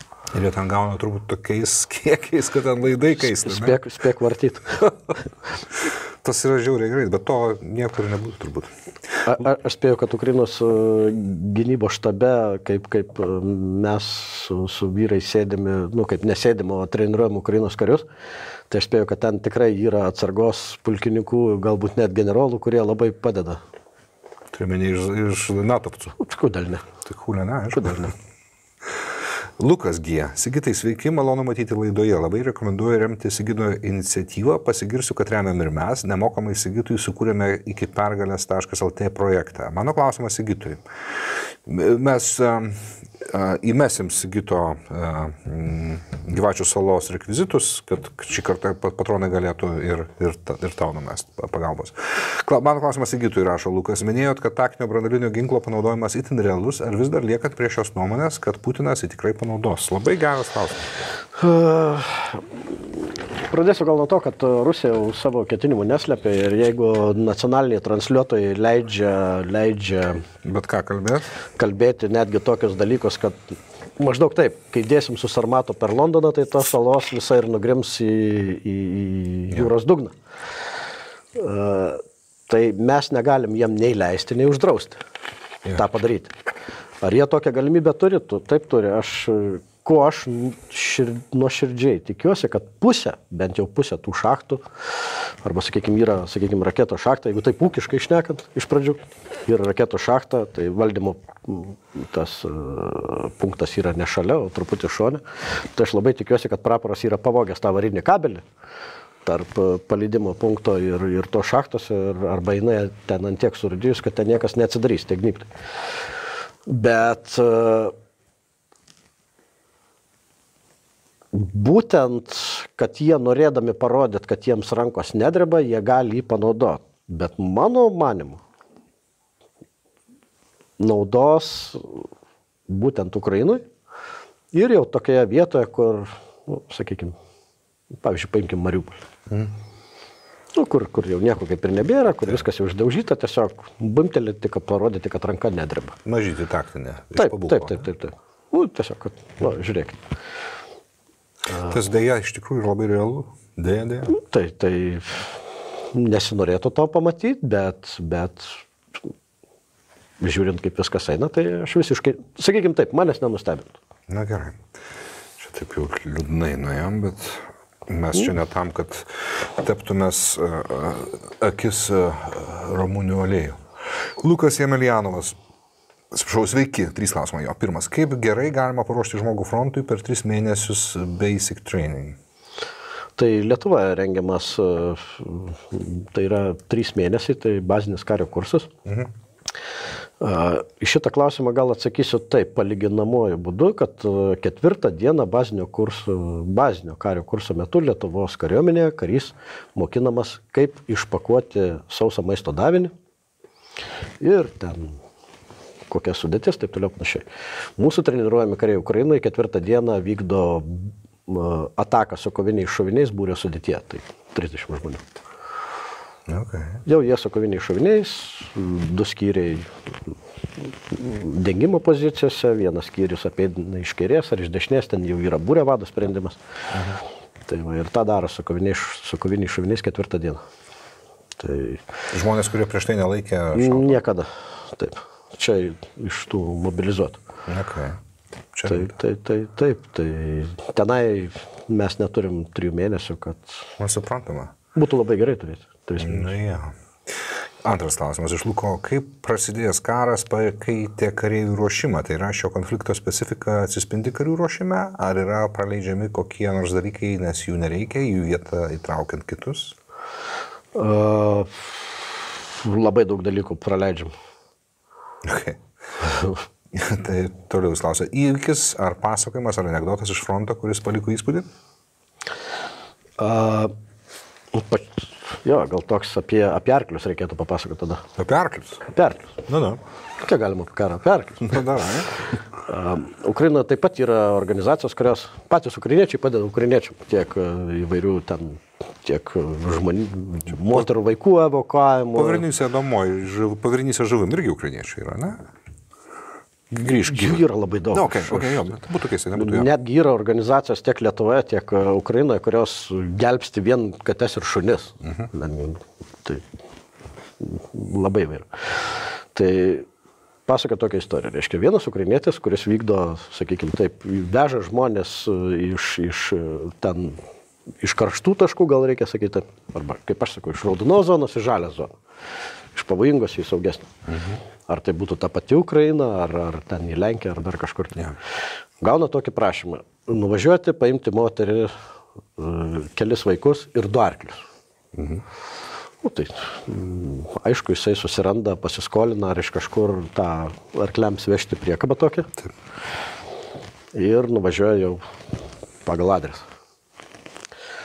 Jam atvykus paaiškėjo, kad arkliai vis dėlto neduo šeši. Hmm.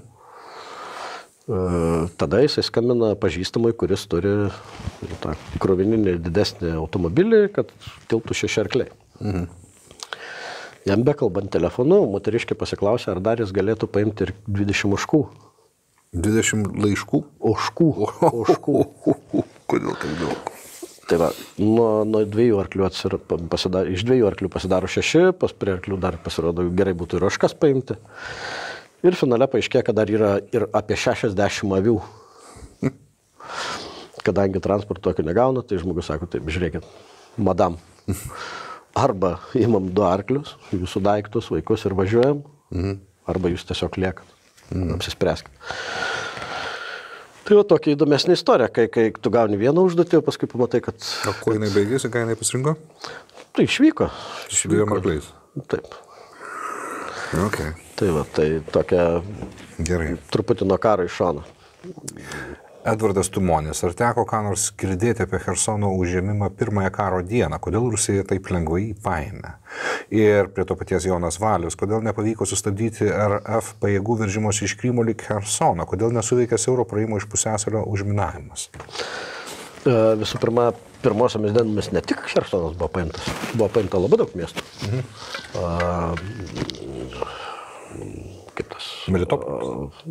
Tai tik tai vienas iš tų, dabar aš galvoju, čia galima tai būtų vard, vard, vardinti ir vardinti. O jie šliaužė po to link Mariupolio, imdami Berdanskas pakeliui, Melitopolis ant daugiau į sausumą. Nu tai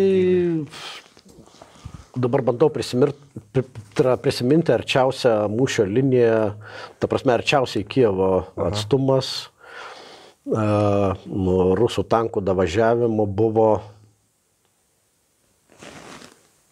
8 gal kilometrai. Mhm. Arba tiksliau, tai, tai jau buvo ta, sakykime, ta ženklas, kai būtų Vilnius, ne? Taip. Tai jie jau buvo mhm. įvažiavę. Taip, taip, taip, tai, tai Hersonas tiesiog buvo vienas iš miestų. Viskas. Tai čia, čia jis nieko neišskirtinis pirmomis dienomis. Mhm. Dėl užimimo. Gal tiesiog. Aš priartinu dabar žemėlapį, kaip tik pasižiūriu. Hersonas, Melitopolis, oi, čia pilna tų Novokachų. Kachovka, jie, bet ten jiems užėmė, tai mažesni, Kalačianskas, Čeplinka, Skadovskas ir taip toliau. Tai taip, bet vėlgi, sakau, mes vardinam dabar tuos Ukrainos miestus taip lyg Lietuvoje, tai... Mhm. Kaip reaguotumėm, jeigu sužinotumėm, kad Mariampolį užimta? O realiai, nu tai ką, tiesiog reikėtų primti kaip faktą ir reksti planus, kaip atsimti. Mhm. Vat ir viskas. Gerai. Bet uh, užminavimas, perėjimo, čia daug apie tai praėjimas, daug kalbų. E, nieko daug negaliu apie tai pasakyti, nes matomai žmogus daugiau žino negu aš apie šitą užminavimą. Mhm. Čia tokios dvi, sakyčiau, per, trys pervalkos yra, jeigu atidžiai žemėlapį pamatysit, yra ryčiau Čiongar, visiškai siauras keliukas ir kairiau, e, vakariau Armenskas ir Preobraženka ir čia du keliai yra į... Sakau, aš bijau suklysti, nes gali būti, kad kalba apie tą užminavimą, kuris e, tiesiog filtus, kurie nebuvo susprogdinti. Galbūt. Tai bet aš čia nenoriu spėlioti. Nu, nenoriu spėlioti. Mantas Grigalis, dėl ko rytų Ukrainoje tiek daug matuškos Rusijos gerbėjų? Neaugiai jie pamiršo Holodomorą 33 metais. Ačiū už atsakymus. Tai e, kaip, e, nežinau kaip juos vadinti, kaip vadina, vatnikais, penkta, penktąją koloną, kolaborantais, tai jų visą laiką buvo ir bus, ir šiandien yra ir pas mus. Taip. Visose šalyse yra. Aš, jeigu man bus leista man tai atsakyti iš dalies į tavo klausimą, tai matuškos Rusijos gerbėjai yra tokia padarmė, tokia gyvybės forma, kuri yra mazochistiška. Arba jeigu taip populiaresnį žodį, tirpylai. Mhm. Tai kuo daugiau tų holodomorinį tokio, o juk badas buvo ne tik Ukrainoje, ten jie ir pačioje Rusijoje proprijoje, ten dviese kaip, kaip, kaip barsukai. Tai jie kuo, kuo daugiau jos trūčijo jų barinas, tuo labiau jie tam barinui šikna ir laižo. Taip jau surėdytas yra vatnikas jeigu man bus leista atsakyti už tą šitą vietą. Tadas Vaičiūnas, sveiki, kaip keičiasi karo tempas mažėjant Ukrainos kariuomenės profesionalių karių ir juos keičiant mobilizuotomis pajėgomis. Ir Artūras Branauskas prie to paties, kaip vertinate dabartinius Ukrainos kariuomenės įgūdžius, ar nuostoliai stipriai keičia jų kariavimo kokybę? Kažkiek kalbėti apie tai, bet dar pasiminkit. Kažkiek kalbėjom, kad faktiškai Ukraina turi pakankamai žmonių, sakykime, ir, ir, ir karingų, tinkamo amžiaus, kad, mhm. kad, kad kariauti, tik tai jiems trūksta, trūksta mm, įrangos ir ginkluotės. Yra geri ženklai ta, kad pagaliau Ukrainos karo pramonė, kas yra iš tikrųjų labai keista, nes realiai eina penktas karo mėno labai greitai ir viskas atsigauna. Jo. Žiauriai. Ir tai, kas subombinta buvo, atsigauna? Taip. Okay. Ir, ir atsigauna dar geriau negu, sakykime, negu buvo. Patys ukrainiečiai juokiasi, kad tikriausiai reikėjo su, su, su, su, su, subombarduoti, supranti, kad pastatyti, kad padaryti geriau. Na taip. Uh, Tu nieko nuostabaus, viskas tobulėja karo metu ir tempai tie. Ja, ja. Uh, todėl man kartais grįžus į Lietuvą atrodo, kad čia viskas taip lietai, visi tokie ramus, žinai, ir taip toliau panašiai. Uh, šitą klausimą, viskas, viskas ten vyksta gerai, aš nežinau kaip, kaip kokia ten antra klausimo dalis. Uh, kai vertinate dabartinius Ukrainos kariuomenės įgūdžius ir ar nuostoliai stipriai keičia jų kariavimo kokybę?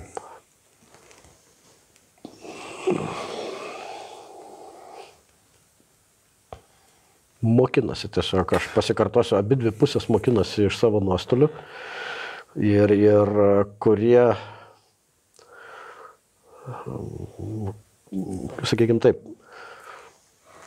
šitą klausimą gal reikėtų atsakyti, atsakyti, norėčiau tiksliau atsakyti, kad karas tai yra kaip žaidimas. Kas kurį išdurs. Mhm. Tik bėda ta, kad šitam žaidime nėra to quick safe arba... Mhm. Andu. Jo. Ir arba, arba, arba... Arba tu iš, kažką supratai, išmokai dar iki to, mhm. nes ten jau laiko nėra, sakykime, improvizacijom. Aš paklausiu, tai kaip, kaip iš vis... Mūsų vienas padalinys patyrė labai stiprius nuostolius jau pirmą naktį, kai nuvažiavo į frontą, mhm. dėl elementarios klaidos. Nagi. Vadai nedavė komandos išsikasti priedangas nuo artilerijos. Aš suprantu, tokį didelį atstumą nuvažiuoti, visi pavargę ir taip toliau panašiai, bet žmonės, at... sakykime taip, Lietuvos kariuomeniai yra jeigu sustoji ir vadas pasakė, kad čia būsim keturias valandas, teisingai, mhm. nereikia nieko klausti. Skiriaus vadas pasižiūri, kur pozicijos ir visi kasas e, priedangas nuo artilerinio apšaudimo. Mhm. Nuskirautų, kitaip sakant. Taip, tiesiog, kad tu galėtum atsigulti. Taip. Paprastai tariant, tai yra 60 cm gilio dabė, kad mhm. ant dugno atsigulę du žmonės galėtų okay. Mhm. Tai va, jie tiesiog pasiliko nakvoti ant, nu, tarp medžių, gal taip sakykime. Mhm. Ir, ir, ir naktį gavo artilerijos. Ir paturėjo labai didelių nuostolių. Tai ar likusiai iš to kažką išmoko, tai aš manau, kad taip. Mhm. Jeigu čia klausimas apie tai. Kaip nuostoliai keičia. Okay. Vitas, sveiki. Tenka girdėti, kad nemaži pajėgų ir strateginiai praradimai ukrainiečių pusėje yra dėl prastos komunikacijos tarp įvairių pajėgų, užsieniečių legionų ir panašiai. Kiek opi problema yra tai ir kas yra daroma, kad to išvengti?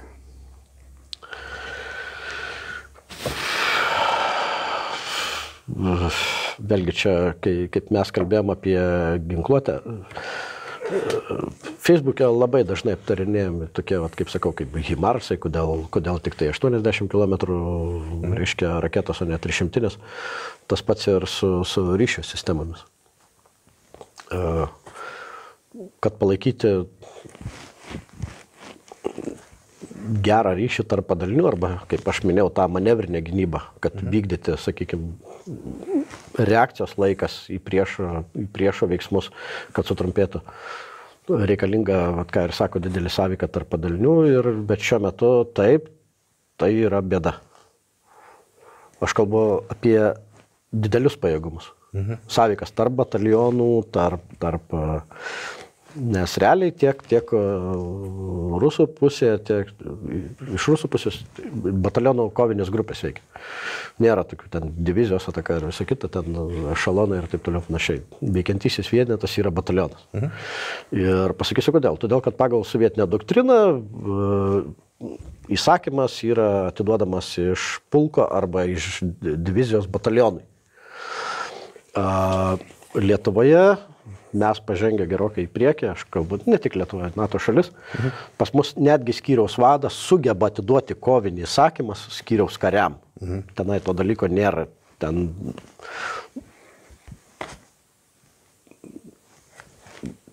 mūšio lauko analizė vykdoma pulko, divizijos ir aukštesniuose lygmenys. Mhm. Tai praktiškai batalionų vadas yra įsakymų vykdytojas, jisai pats e, ten nieko labai daug e, nepridarys. Kita vertus priminsiu, kad e, frontas yra 1500 km, tai ten suorganizuoti kažkur kažką tai yra labai mhm. sudėtinga. Tiesiog. Gerai. Jonas klausė, sveiki, kaip dažnai kariai esantis fronte yra pakeičiami kitais kariais? Apie rotaciją klausiu. Tai žūsta. Tiesiog taip. Taip. Tai čia labai taf. Ką, ką aš minėjau, kad e, jeigu, jeigu sužeistas karys gali toliau šaudyti, jis nėra evakuojamas iš fronto. Kad jau apie tai kalba, kiek ukrainiečiai e, bukaprotiškai laiko kiekvieną žemės pėdą, nes ne, neva, o dėl ko mūsiškiai dėl tos pėdos žuvo, kad mes ją dabar paleistume. Kitaip sakant, tai, ką jie padarė dabar Lisičianskė, normalus taktinis atsitraukimas, ko... Taip, tai normalus taktinis manevras, tai žmonės kai kurie... Taip, žmonės kai kurie, bet vėlgi tai turi būti sprendimas ir leidimas taip. iš aukštesnės vadomybės tą veiksmą padaryti. Hmm. Bet ukrainiečiai turėjo tą užsispyrusi kiekvienos pėdos laikymą. Tai... Nepaisant nuostolių. Aš pasakysiu, čia artileristai labai greitai galėtų papasakot, kiek tu laiko sėdėsi tam kvadratiniam kilometrė, kol išdaužys tave. Vis, nu, Tiesiog. Tiesiog.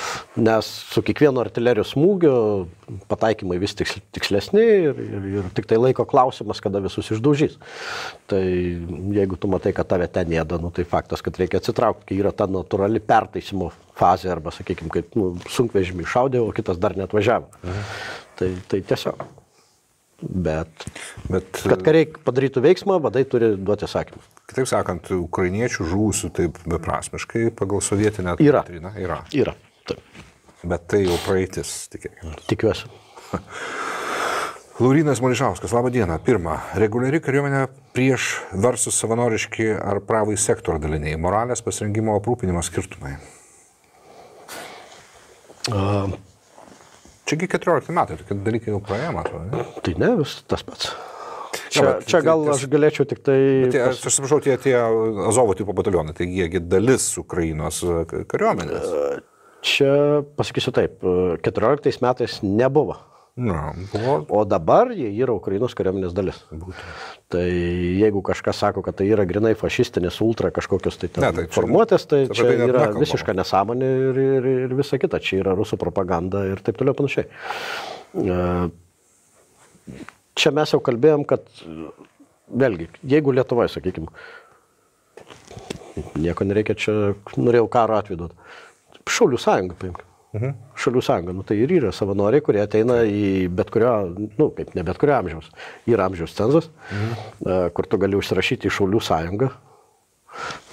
Yra priklausomai nuo tavo rinktinės, tu matysi rinktinės pasirinkimo planą arba veiklos planą. Uh, Vėlgi įstatymai buvo priimti, palengvinantis, reiškia, disponavimą ginklais. Ir į šitą klausimą gal dar galiu pasakyti, tai kas gali, eikite ir pirkite ginklus ir šovinius. Puikiai. Antras klausimas. Laurino, ar Lietuvoje yra panašių sukarintų organizacijų, organizacijų kaip pravai sektorių? Ką tik apie tai ir kalbėjome? Tai šaulių, šaulių sąjunga. Nu, yra, yra, bet mes neturim teisės sakyti. Jokauju. Čia labai gerai sužinoti visi. Karolis, ar tiesa, kad paskutinį mėnesį kasdien ukrainiečių karių žuvo daugiau nei rusų? Taip pat ar tiesa? Mhm. Tai atsakymas ne, iš tikrųjų santykis yra vienas prie 2,5, vienas prie 3. Čia grubiai. Taip pat ar tiesa, jog geriausios Ukrainos pėsininkų paėgos yra praradusios pajėgumus ir užpildomas nepatyrusiais naujokais? Dalis tiesos. Ne? Dalis tiesos. Kita vertus, tų, kur yra, kaip ten buvo, elitinės paėgos buvo pasakyti. O, geriausios. Geriausios. Tai aš nežinau apie konkrečiai kokias paėgas šneka, bet pasakysiu taip, kad uh, tos geriausios paėgos, gal sakykime taip, turi teisę pasimti žmonės iš kitų padalinių mhm. pagal poreikių. Gerai. Martinas Zaksas, kokia įranga tapo nepasiteisinusi ar neaktuali karo metu, nors buvo dėta daug vilčių? Tik nesakyk, kad dronai. Ne, čia šitas klausimas geras tuo, kad nes aš manau, kad po šito karo bus aplamai doktrinų vadovėliai perrašomi ir taip toliau panašiai. Aš nesakau, kad tankai toks kaip kovinis vienetas išnyks iš kariuomenių, mhm. bet tai parodė, kad jie nebėra tas, nebėra ta karo nebėra tas ginklas. Karo simbolis. Kuris, kuris lemia mūšį, mūšio eigą arba karo eigą. Jeigu žmonės turi, ką beje man patys tankistai pasakė. Tankas bijo ne kito tanko ir, ir jie labiausiai bijo pėstininkų su, prie, su, su, su gerom prieš tankiniam sistemom, tokie mhm. kaip lavai ir džiavelinai. Tankas kitą tanką gali pamatyti už kilometrų ir dar toliau. Ta. Bet sėdinčių dviejų artistų mhm. krūmose ir belaukiančio, kol jis privažiuos per tinkamą atstumą, Ir dar matai, jie labai, per, per mažą jie, komercinį droną. Jie labai bijo jo. Taip. Mhm. Taip. Yra komanda, kuri paleidžia droną. Ten yra tos augmenijos linijos, gal sakykime, kur yra laukai dirbamieji. Ja. Arba palei kelią, kur auga tie medžiai. Jis labai gražiai praskrenda, apžiūri visą kitą ir, ir, ir viskas. Arba mato atvažiuojantį, laukia tiesiog, kol jis atvažiuos per, per šūvį atstumą. Kalbant apie dronus, aš čia turėjau tokio optimizmo. Aš ir dabar jo turiu, tiesą sakant, kad uh, Switchblade bus game changeris. Ir uh, vienas azerbaidžaniečių karo ekspertas, Azada jo pavardė pabaiga, aš niekaip neprisimenu, sorry. Tai jis pasakė tokį dalyką, toks atrodo šapkas akidatlinas, bet nu, jis pasakė taip maždaug, dabar yra dabartiniam kare, jums nereikia tankų, jums reikia paleisti tos switchblade'us ir atvažiuoti ant dviračių ir nu, ištampyti lavonus. Tai nu, jis ultriravo, bet uh, jeigu tų switchblade'ų būtų tiek daug, kiek jis turėjo menį, tai gal taip ir yra, ką tu galvoji? Tai viskas link to ir eina. Ne? Taip, kad, sakau, tiesiog e, vėlgi šitas karas parodė, kad tankai tiesiog yra labai pažeidžiami. Mhm. Ir e, turint gal pasakysiu. Turint omeny, kokie jie brangus yra. Taip, jo, eko, tas ekonominis naudingumas. Yeah. Uh, Ukrainiečiai čia ką labai puikiai pradėjo daryti, jeigu kar, karo pradžioje jie naikindavo visus rusų tankus, tai dabar jie naikina iš, sakykime taip, jeigu važiuoja šeši ar, ar keli tankai, Aha. jie kerta tik tai dviem, trim taip. ir laukia, kol kiti tankistai iššoksis iš tankų ir pradės bėgti. Mhm. Nes tankis, sakykime taip, žmogaus psichologija veikia taip, kai jis pamato priešais degantį tanką, tada išgirsta per vidinį ryšį, kad už nugaros kitas gavo įskudrus, reiškia tu sekantis. Ir vienintelis būdas išlikti gyvam reiškia šokti iš tanko ir, ir lėkti į krūmus ir tikėtis, kad arba neieškos ir tu liksi gyvas, arba tiesiog pasiduosi ir liksi gyvas, nes ukrainiečiai, ką jie labai sėkmingai daro, jie, žiūrėk, duoda mamai paskambinti. Sako, nusiramink, sako, parūkyk. Nei mes tai smušim, nei ką. Mhm. Mums to nereikia. Tiesiog iš kokio miesto esi, ko tu čia važiavai, kas tavo vadas ir taip toliau panašiai. Todėl va, čia yra ukrainiečių stiprybė ir todėl rusai labai dideliais kiekiais pasidavinėja. Dideliais kiekiais. Taip. Ir palieka karinę techniką. Aš taip dažnai, taip gėdingai neatsimindavau to azerbaidžianiečių apžvalgininko pavardės, kad aš taisau savo klaidą, aš jį radau, jis yra Agil Rustamzade. Tai va. Jis įdomiai kalba, jis ramiai kalba. Gerai, apie pasiduodančius. Čia labai įdomi tema yra. E, kaip jie pasiduoda? E, Aristovičius nekartą ir nedu pasakojo, kad jis teigia, kad tam, kad karys pasiduotų, jis turi būti tikrai geras karys, išmanyti. Tiesiog būtų paruoštas kaip karys, kad žinotų, kada mhm. pasiduotas momentas, kad negautų kulkos iš savų į nugarą taip. ir negautų iš, iš, iš taip, taip, pasidavimas yra iš tikrųjų nu, kaip. Sudėtinga procedūra. Taip. Tai rusų pasiduoda nemažai. Taip, daug. Daug pasakysiu. Na, ok, čia labai gerai. Gerai, eikim toliau.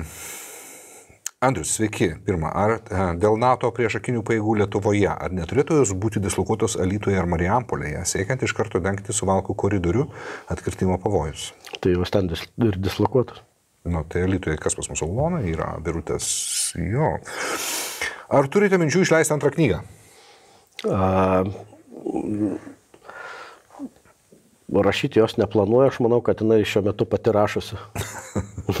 Gerai. Jonas, nuo pat kovo mėnesio pastoviai kalbama apie tai, kaip rusai va jau tuo išsikvėps, nes jie neturi gyvojo rezervo. Tačiau net ir šiandien nepanašu, kad jie būtų išsikvėpę. Vysto pulimą kai kuriomis kryptimis. Kodėl jau keturi mėnesiai manoma, kad jie išsikvėps, o jie neišsikvėpė?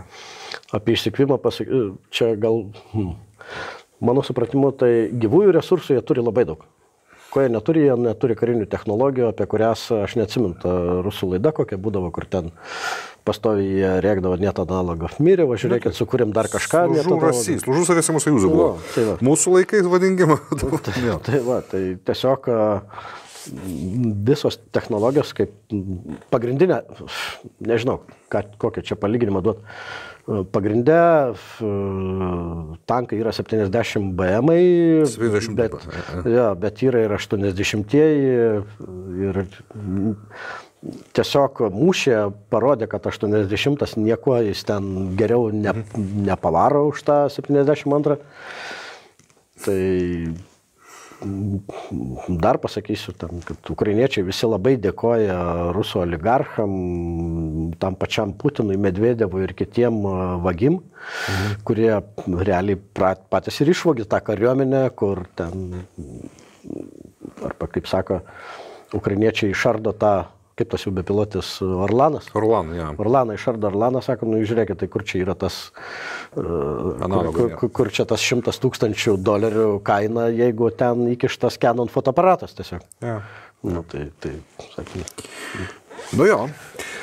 Jonas dar klausė, ženkliai pamažėjo ukrainiečių video su dronu ar bepiločių panaudojimu. Ar rusai išmoko nuo jų apsiginti ir bepiločiai nebetenka savo aktualumo? Mes prieš tavo atsakant, mes čia saudrim, Audrius čia paminėjo, kad mm. kai nusistovi frontas ir kai galima pritraukti prieš lėktuvinę gynybą arba prieš mhm. droninę, tai čiagi natūralu yra.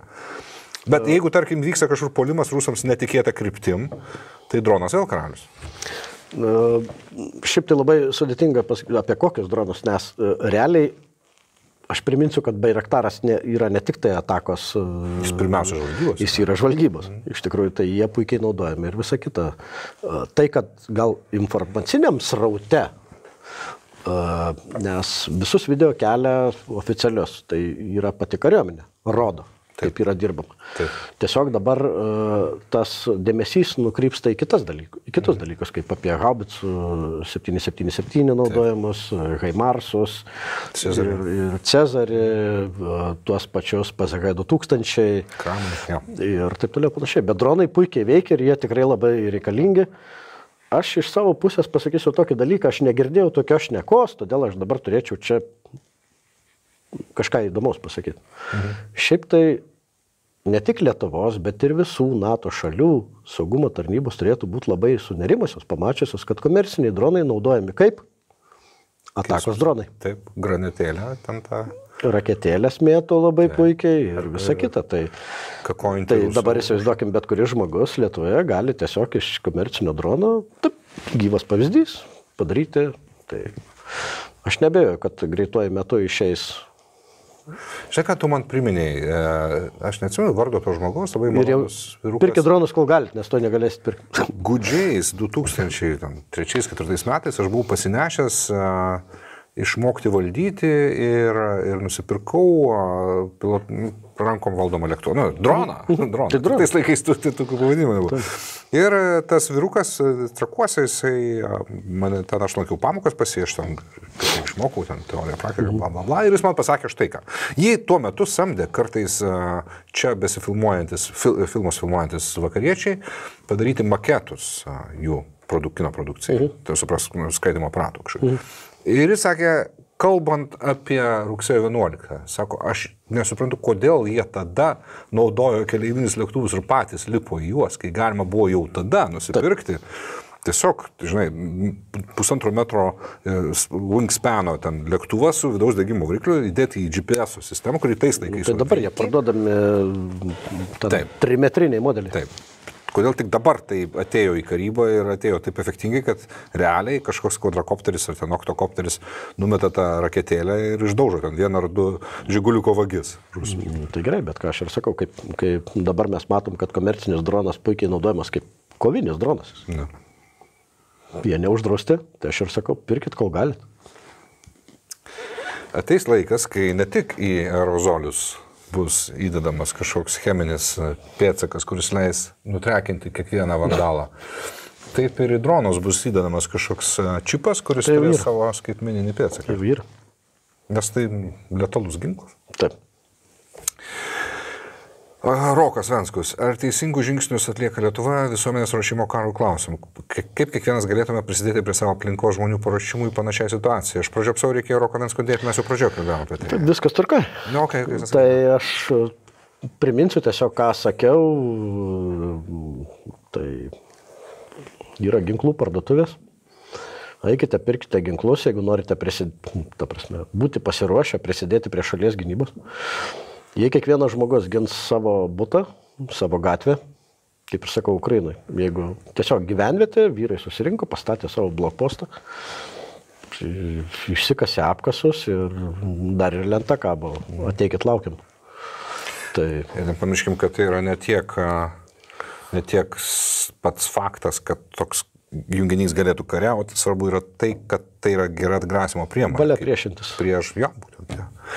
Vingijonas klausė, Baltarusių savanoriai kovoja, o čia visa tema yra apie tai. Sudėjau viską į vieną. Baltarusių savanoriai ko- kovojantis Ukrainos pusėje. Kas jie? Ar jie nėra tie litvinistai, nacionalistai, kuriems Lietuva yra tai tik žemaitijo, visa kita tai Baltarusijos žemės? Ukraina mums sąjungininkai, ar Baltarusių savanoriai taip pat? Prieš tau atsakant, aš norėčiau Vingijonas, aš leisiu savo pataisyti. Man atrodo, turėjau menį ne nacionalistai, o šovinistai ar nacistai. Tai taip, litvinistai, nors jų būna ir nuosaikių, kurie mums tarsi yra draugiški, bet savo doktrina, apskritai litvinizmo doktrina ir filosofija yra šovinistiška savo prigimtimi, e, ne nacionalistiška. Nacionalizme nėra nieko blogo. Gerai, tai klausimas aiškus. čia reikėtų kalbėti, tikriausiai žmogus turėjo menį, ką mes ir kalbėjom, Kalinovskio. Aš, aš vėlgi Jonui leidus. Pulką? Ar nebus taip, kad e, Kastusė Kalinauska e, bat, bataliono dabar jau pa- pauka, e, reiškia tie žmonės, visą pagarbą jiems, išmušus valandai X ne, ne ateis čia atsiminėti našų Vilnių. Nes litvinizmas su- suponuoja, kad Vilnius yra jų miestas. Visų pirma, jie nori uh, atsimti Baltarusiją. Jie nepripažįsta Lukašenkos, kaip ir visas pasaulis, e, prezidentu mhm. ir šalies vadovu.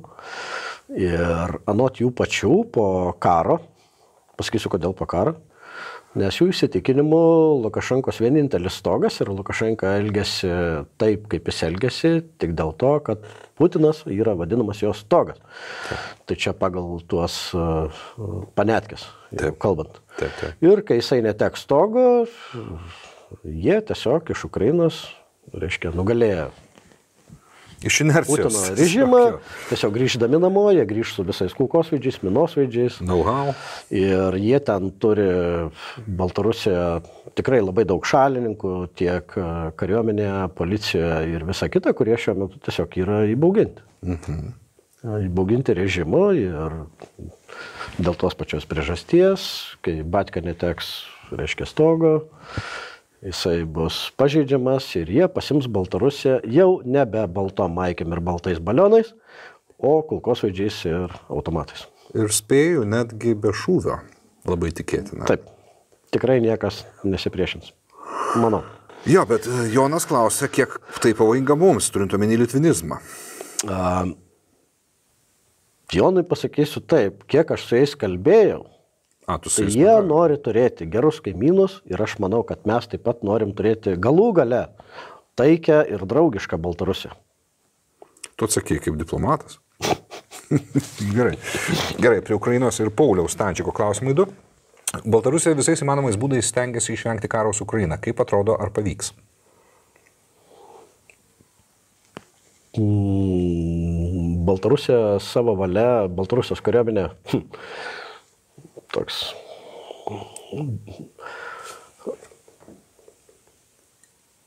Aš neįsivaizduoju tokių dalykų, kas turėtų atsitikti, kad Baltarusijos kariuomenė peržengtų savo sienas į bet kurią pusę, tiek į Ukrainos, Lietuvos ar Lenkijos. Mhm. Nes ten nėra tos kariuomenės, kuri galėtų su kažkuo tai kariauti. Tai ne invazinės pajėgos šiuo Taip, metu. taip, taip, taip. Ir pati kariuomenė yra šiuo metu labai tokia, kaip čia pasakyti, susiskaldžiusi, kurie vieni gal norėtų ten kažką tai kariauti, kiti, kiti maždaug "Nu, prieš ką tu čia kariausi, tai, tai gausim skudrus ir viskas. Mhm. Tai va šitaip. Tai, Galų galia Baltarusijoje, taigi Facebookai neuždrausti, jie ten pasikapsto, aš spėjau. Tai aš pasakysiu taip, Baltarusija nei, nei politiškai, nei, nei, nei, nei karinė prasme patys savo iniciatyvą tikrai neis. Aš nežinau, kas, ką turėtų padaryti Kremlius, kad, kad, kad juos paskatint naudot. Jau seniai būtų ėję, turbūt. Sen- Tai būtų jie. Atsakymas. Kaip tu manai, ar, ar tikrai Lukašenka čia yra toks jau žaidėjas ir gudruolis, kad jis taip sugeba laviruoti? Tai jis nori būti, vėlgi labai puikiai matosi, kad jis vieną dieną mm, kaip ir nori draugauti su tais vakarais, nu, arba su mumis. Mhm. Kitą dieną jis mm, vėl, supranti, draugauja su, su, su Volodė. Paulius, antras klausimas iš jo.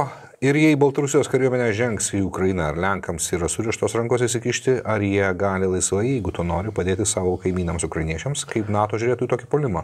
Jeigu Lenkija įsikiš, tai įsikiš, įsikiš kaip a, NATO dalis, nu, kaip ir visa NATO. Tai Be čia mano atsakymas yra labai paprastas. Mhm. Arba kaip ten toj dainoje jau kai dėjo, tai jau dėjo, tai tikrai nepagailėjo. Mhm.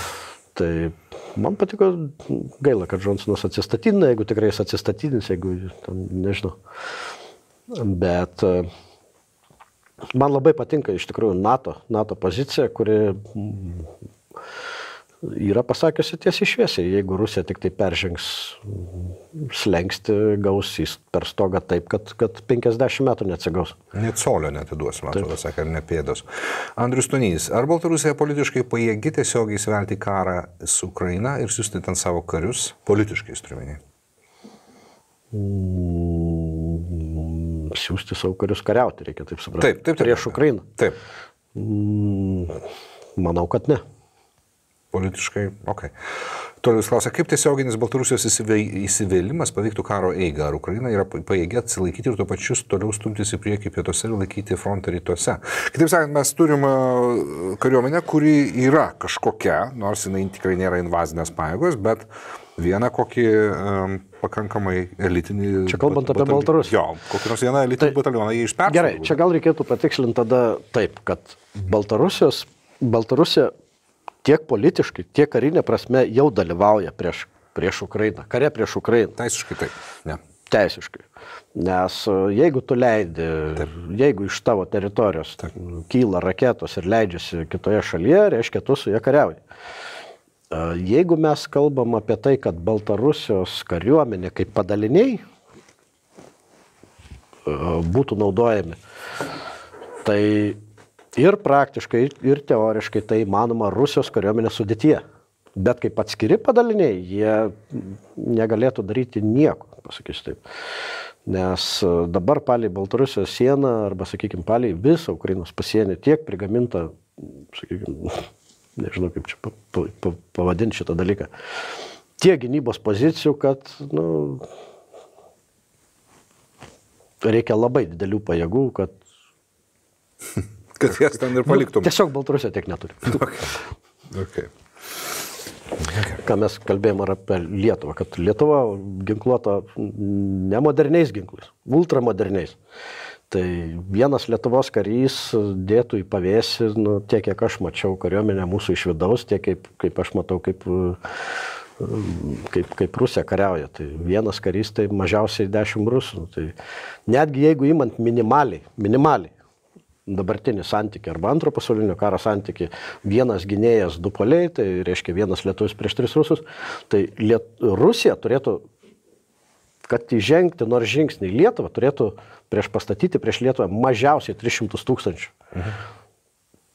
Pagrįsti. Realiai dėl pusę milijono. Mūsų mobilizacijos rezervas. Kiek mes galim e, mobilizuoti? Šiuo metu Lietuva turi šimta, virš 120 tūkstančių, aš čia Grubiai. Smulkiai nepasakysiu, bet čia tas minimalus gal reikėtų netgi sakyti. Skaičiu 120 tūkstančių e, vyrų ir moterų apmokintų labai gerai naudotis ginklais. Mhm. Tai iš ten ir skaičius, kad prieš 120 tūkstančių pastatyti tris kartus daugiau, tai jau gaunasi 400 tūkstančių arba, kaip aš sakau, turi būti pusę milijono, kad būtų Taip. bent vieno žmogaus persvara. Taip. O jeigu jie mus atmėtys raketom, mus gins prieš lėktuvinę, mes jau turime nasamsus. Prieš lėktuvinę gynyba yra ir, ir, ir viskas yra tvarkoje. Tai aišku, ten tos pozicijos jos nebus viešinimus ir čia iš tikrųjų yra, aš įsitikinęs, kiek aš žinau, kad Lietuvos kariuomenė yra padariusi viską, kad jinai būtų tikrai aukštai parengti ir, ir, mhm. ir, ir viską mes turim, kad, kad atsimušti nuo, nuo, nuo, nuo invazijos. O, o Rusijai verštis, arba, sakykime, nu, vėlgi, kas man nepatinka, kad netgi Lietuvos žmonės ir aukšto rango politikai sako NATO. Nu, atein, laikas yra sakyti, kad mes. Mhm. Mes, nes NATO, mes esame NATO. Taip, NATO nėra kažkur tai. Toks nepilnariškumo kompleksas. Taip, taip. Tai reikia sakyti, ne, jeigu Rusija puls Lietuvą, ne, jeigu Rusija puls NATO, mhm. tai jie nuo NATO per galvą ir gaus. Visais įmanomais ginklais. E, Lenkija stovi penktos e, armijų grupės vadavėte. Tai armijų grupė, tai reikia įsivaizduoti, kokie tai yra, tai yra šimtai tūkstančių karių ir Rusijai būtų savižudybė tiesiog kažką tai bandyti daryti prieš Baltijos šalis arba NATO. Ir ačiū Putinui, kad uh, už Suomiją ir Švediją. tai čia. Mes e, taip, taip sergam už Ukrainą, kad e, tiesiog neturim laiko įvertinti, koks geras dalykas įvyko be, taip. be to. Laurinas Kurila, kiek sudėtingas karinė, ne politinė prasme būtų Krymo atsėmimas? Bet čia irgi labai geras klausimas, nes yra daug kas iš šimtų politologų, kurie mano, kad tai būtų kaip? E, sudėtingas karinė, ne politinė prasme Krymo atsėmimas būtų. Nes po, aš, aš prieš tau sakant, politinė prasme sudėtingas būtų, kai kurie protingi vyrai ir moteris sako, kad tai labai tikėtina, kad būtų trigeris paleisti uh, džiną brandolinį. Aš gal pažiūrėsiu iš pradžių iš karinės pusės. Jo, čia ne, ir klausė Laurinas, būtent karinėje. Taip. Uh, visų pirma, uh, Krymas automatiškai uh, arba kova Kryme įtrauks laivyną stipriai. Ir, ir, ir arba nu, jūros mūšiai gal reikėtų vadinti, aš nežinau. Krymo atsimimas ir aplamai teritorijų atsimimas arba silpnoji vieta iš tikrųjų labai dažnai akcentuojama artilerijos persvara, kad Rusija turi didesnį artilerijos persvarą ne, nei Ukraina. Mano atsakymas labai paprastas - dangus. Mhm.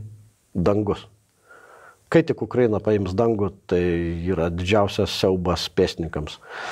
Dabar pagrindinėse atakos kryptise Rusijos aviacija, ne tik artilerija, bet Rusijos aviacija labai stipriai daužo Ukrainos kariuomenę. Ir, ir prieš lėktuvinę gynybą tiesiog kartais nespėja numušinėti. Mhm.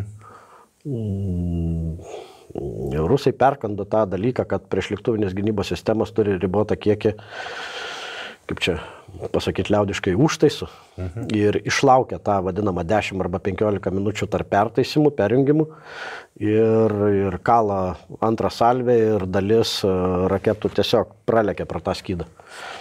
Tai va šitaip. Tai čia čia kalbėjo apie raketinę ataką, bet ne apie ne lėktuvų, ne orlaivų. Tai taip, aš sakau, kad kai, kai tik Ukrainai valdys pakankamą, pakankamą kiekį aviacijos ir, tai ir dabar šitoje vietoje šaudės. Šitoje vietoje, žiūrėk, dabar šitoje vietoje kažkada atsisuksim šitą video po kiek laiko, mm. po mėnesio ar po dviejų ar po trijų, mm. po pusę metų. Aš sakau, kad Krymo e, vadavime dalyvaus F-35. Kas bus išslaptinta vėlgi dar vėliau. Gaudai mane žodžio, gerai? Visi gaudom. Nes būtų keista, jeigu to nebūtų. Jeigu bus politinis sprendimas padėti Ukrainai tai daryti, tai, be, tai ten bus F-35 krikštas. Gerai, tegul, bus, tegul liksiu durnim, bet... Aš pasakysiu, ką pradžioje pasakiau. Tikiuosi, kad tai bus. Okay. Aš tai dešimtus labai norėčiau pamatyti veiksme. Nu tai čia, žinai, kas. Mano mylimiausia. Aš labai jos irgi myliu. Ir mes turim trumpųjų žinių užsklandą. Brrt. Gediminas R. Ant kiek realiai stiprių ukrainiečių žvalgyba RF teritorijoje? Mm, ant tiek, kiek... Kiek dažnai rūko? Ne, Ant tiek stipri, kiek Rusijos žvalgyba stipri dabar Lietuvoje. Keistai atsakiau į klausimą. keistai, pa, pa, paaiškink. A, Rusijos žvalgyba dabar dirba Ukraina. Būtų keista, jeigu gerai pagalvosite, būtų tikrai labai keista, jeigu Rusijos žvalgyba nestebėtų kiekvieno karinio dalinio, kiekvieno svarbesnio objekto, taip pat ir Lietuvoje. Taip. Na, tai būtų nonsensas, jeigu šiuo metu Rusijos žvalgyba arba žvalgybininkai nestebėtų, arba penktakolonininkai, nu, pavadinkim, geri draugai, Taip. nes žvalgyba yra profesionali, neprofesionali, tačiau galima čia atskirti. Tai persneigia labai. Taip. Tai taip, tai taip pat sėkmingai uh, Ukraina, Ukraina, ukrainiečiai arba mm, Rusija yra labai daug karo priešininkų, pačių rusų. Ypatingai tarp jaunimo, kurie sako, čia visa tai yra šūdas, mūsų to nereikia ir mes nesuprantam, kodėl Rusija negali būti tokia pati šalis kaip ir visos. O jeigu dar turi ukrainietiškų šaknų tas rusas, Tai be abejo. Tai kas dažnas? Tik, tai, taip, pat- tai va, Rusijoje yra labai daug rusų, kurie tiesiog pat, dirba ukrainiečiam. Kaip ir kiekvienoje šalyje. Tai, tai, tai va šitai. Kaip, kaip ir Ukrainoje yra ukrainiečių, kurie tekina informaciją rusam. Kaip yra Lietuvoje lietuvių, kurie dirba labai nirtingai. Nu vieną pasodino pagaliau Paleckį, bet Tai reikia. kas, kas, kas netingi gali atsiversti postus po Baraktaro iniciatyvą. Tuoj Ten galima tokią kolekciją susidaryti. Absoliučiai. absoliučiai. O jie nebaudžiami. Ir kaip ir sakiau laidos pradžioj, jie tarpdami e, tą, tam fonę informaciniam, jie nuoširdžiai mano, kad jie fantos. Jie, jie jaučiasi nebaudžiami. Jie jaučiasi laimėję.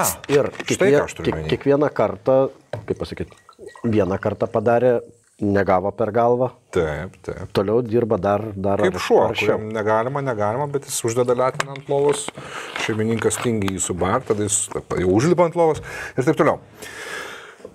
Aš tik viliuosi, kad mūsų e, tarnybos, kontržvalgybiniai pajėgumai dirba labai gerai ir tiesiog sutvarko tos dalykus, bet mes to nematom. Aš to labai tikiuosi. Aš manau, kad tų žmonių sąrašiukas yra. Jie turėtų gerai pagalvoti, ar vieną dieną nebus tik tai. Dobro viešumas Litvai. Taip. Šį kartą. Aha, Edvinas Smithas. Kiek procentų tiesos, kalbant apie padėtį fronte Arestovičiaus kalbose, susidaro įspūdis, kad priešingai nei jis pats teigia, jo misija paskutiniu metu tampa kalbėti tai, ką nori girdėti Ukrainos žmonės. Tai yra tik optimistinės naujienas.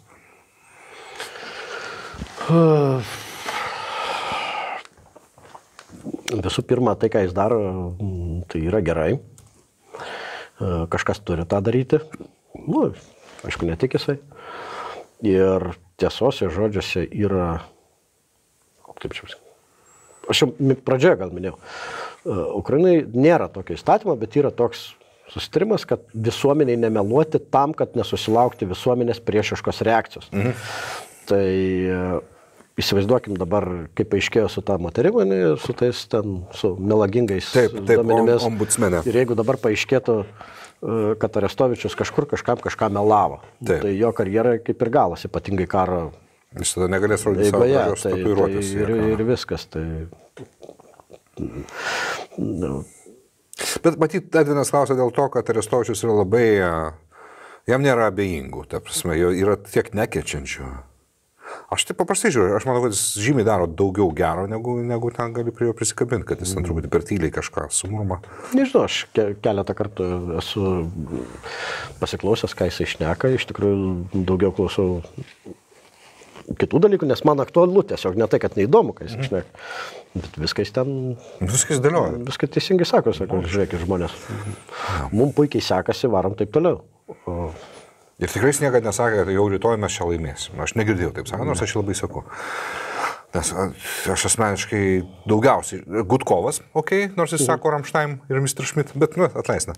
Ir, ir Feiginas su Restočiu. Tik Feiginas galėtų baigti su... Vat, ką žinai, ką tai domaiš? Nas čia smotrit. Čia kas, kas minutę sakyčiau, mūsų dabar žiūrovų skaičius yra, kam to reikia? Fuck, man. Aš tai žiūriu, žiūriu tuos rusų pro, pro, pro, propagandistus. Turi nervų tam? Aš tai negaliu žinoti. Man patinka. Man patinka, kaip jie vemia pykčių. Nes kad, kad žmogus taip taškytųsi, teisingai, reiškia, jį nervina. Taip. Vadinasi, viskas teisingai vyksta. Kad jau prakalbam, o Girkinas kaip tau jo po... Kaip, Daug kaip, kas... kaip, kaip nusišneka, suprantam. Tai. Bet Girkinas, aš kalbu apie Girkiną, jis nenusišneka, jis... uh, Man šneka. tai keista, aš kartais galvoju, jie patys. Kaip, kaip, kaip galima tikėti tuo, ką tu šneki? Nu, aš tikiu, kad galima į, į ten uh, kokią Marusę, žinai, iš Glušo Rusijos kaimo, žinai, nu, įtikinti, žinai, tuo, kad taip yra. Bet tokiu rimtu veidu. Aš kartais laukiu, kol jie patys šneka, šneka ir pradės juokti, žinai, kad maždaug Aš šneka kaip, ir visi kalbos, aš kaip kalbos mokslininkas to paaiškinsiu. Jeigu tu nuo pat vaikystės ir tokie kaip tu aplinkui tave mąstytų ir kalbėtų kalba, kurioje nėra perfect formų, kurioje nėra būtojo dažnio ir kurioje nėra kantinės formų, tu anksčiau arba vėliau išprotėtum. Ir pradėtum meluoti pats savo ir tuo melu tikėti. Tai būtų daugias luoksnės schizofrenija, kas ir yra Rusijos visuomenė su savo sugadusiu kodeku. Tačiau pas juos jau laidose atsiranda žmonės, kurie pratrūksta ir pasako, kad mūsų kariuomenė yra nepasiruošusi. Tai čia yra išimtis, yra kurios patvirtina taisyklę. Kaip? Išimtis, kurios patvirtina taisyklę. Taip. Tu kalbėjai apie tą buvusi e, dimisijos kažkas. Pulkininkas. Tai Jo, kur po to jis, jis, jis kitą Kuris- kartą iš karto atsimė savo žodžius. Kuris tiesiai šviesiai pasakė, sako, nu, nespankit, sako, nu, tai jūs pažiūrėkit. Okay. Gediminas S. Kodėl nevyksta partizanės kovos, pavyzdžiui, Hersone? Vyksta.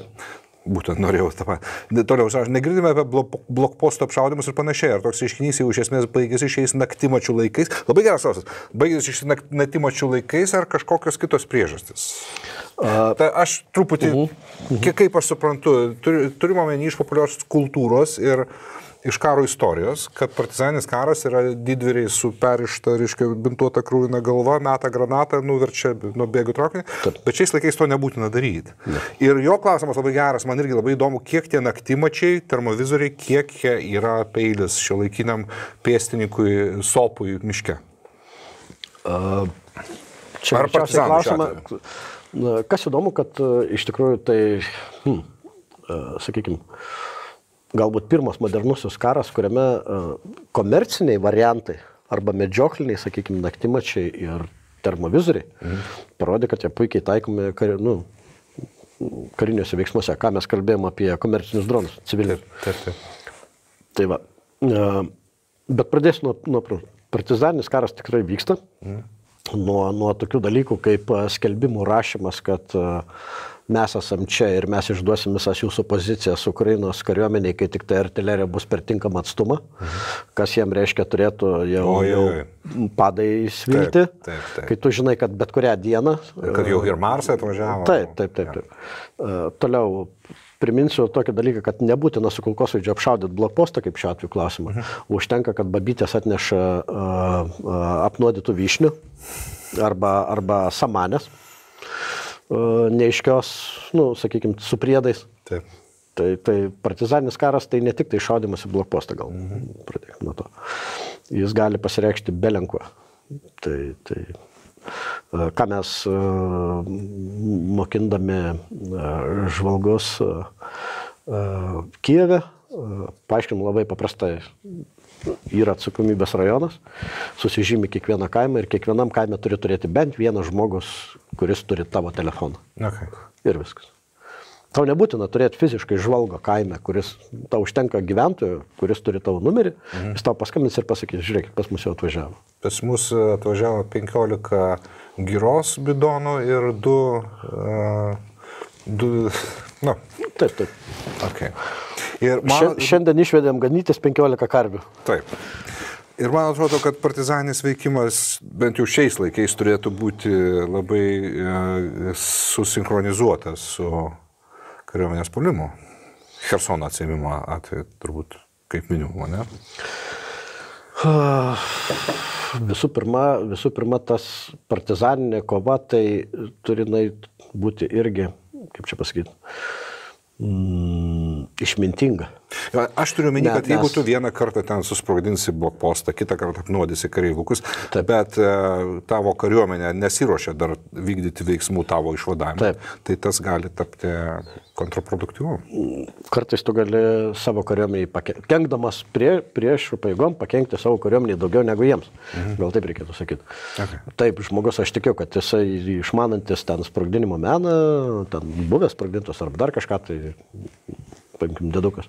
Mhm. Paimė tiesiog sprogdino kažkokį tiltą, o tas tiltas bus reikalingas poryt. Jo. Busimam polimui. Okay, ja. Vytka 187 Nikas e, rašo klausimas. Neseniai e, Junktinė karalystė pradėjo apmokyti Ukrainos pėstininkus. Atseit po 10 tūkstančių per mėnesį. Ar gali Ukrainos kaimynai padėti šio klausimu ir jei jau padeda, tai kokiais mastais? Iš esmės dėl to čia Vi- Sivis ir vi- sėdi. Visų pirma, dar nepradėjo. Dar nepradėjo, bet Dar pra- nepradėjo. žada pradėti. Jie turi tokias galimybės. Lenkijoje? Kaip? Lenkijoje ir pas save tiesiog. Uh, Ukrainai? Britai Ukrainoje. Taip. Čia jau įdomu. Ne, neaktyvios. uh, Kas įdomu, kad iš tikrųjų uh, Britų, pavadinkim, atsargos karių asociacija, mhm. ką realiai Lietuvoje mes irgi turim. Taip. Uh, Jiem jau kurtis nereikėjo, jinai jau yra. Jie tiesiog tarp savo žmonių paskelbė, kad, va, žiūrėkit, kaip legionas, mums reikalingi tokie, tokie žmonės. Ir jie jau buvo atvažiavę pas mus į žvalgybą. Mhm. Tai Britų, Britai iš Saso ir jūrų pėsninkų. Ro- Karališkojo. Taip, taip, karališkų jūrų pėsninkų. Penki žmonės buvo atvažiavę apsidairyti, kiek, ta prasme, kokią infrastruktūrą, kokius gyvenimo sąlygos ir uh, taip toliau panašiai. Pavyzdžiui, joks amerikonų instruktorius tikrai negyventų tokiuose sąlygose, kokiuose mes gyvenam dabar Ukrainoje. Mhm. Tai nu, tiesiog, padlų. nu, Nelygis, ta prasme. Ne? kaip sako, čia turbūt yra tarako. Na, O ką daryti? nu. Tai, tai bet, sakykime taip. Ir jie sugebėjo susikoordinuoti su, su gynybos ministerija, kad a, gynybos ministerija juos rems.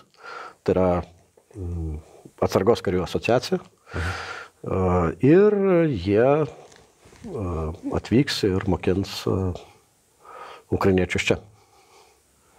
Gerai. Kaip, kaip ir sakau, va, kaip ten. Čia tu turi minį Ukrainoje. Taip. Na gerai. Evaldas Miliauskas, ką manote, ar vyrų išvykimo draudimas į užsienį padeda ar kenkia Ukrainai šiuo metu? Tai yra natūralus veiksmas, kaip ir Lietuva gavo šaukimą neatvykti į, į, į, į teritorinį gynybos štabą. Reiškia, jūs gausite iš pradžių baudą 15 eurų, jeigu gerai atsimenu, antru atveju 13, 30 eurų, trečiojo atveju įspėjimas apie bau, bau, baudžiamumą, 1000 eurų bauna ir likti, netgi likti, liktinė Ne, Baudžiak. Tai va, tai taip turi vykti ir, ir, ir tai yra vadinama, traktuojama kaip valstybės išdavystė. Teisingai. E, Nebent, kaip aš minėjau, e, kad yra tokių profesijų žmonės, kurie tiesiog atleidžiami nuo karinės tarnybos, nes jų esamoji veikla yra svarbesnė negu, mhm. Sakykime taip. Gerai. Toliau Evaldas įdomaujasi ir situacijai pablogėjus tikėtina priverstinė ar griežtesnė mobilizacija Ukrainoje. Taip, šimtų procentų. Okay. Toliau jis klausė, koks procentas žmonių jūsų manimų savanoriškai prisirašo į armiją ir koks priverstinai?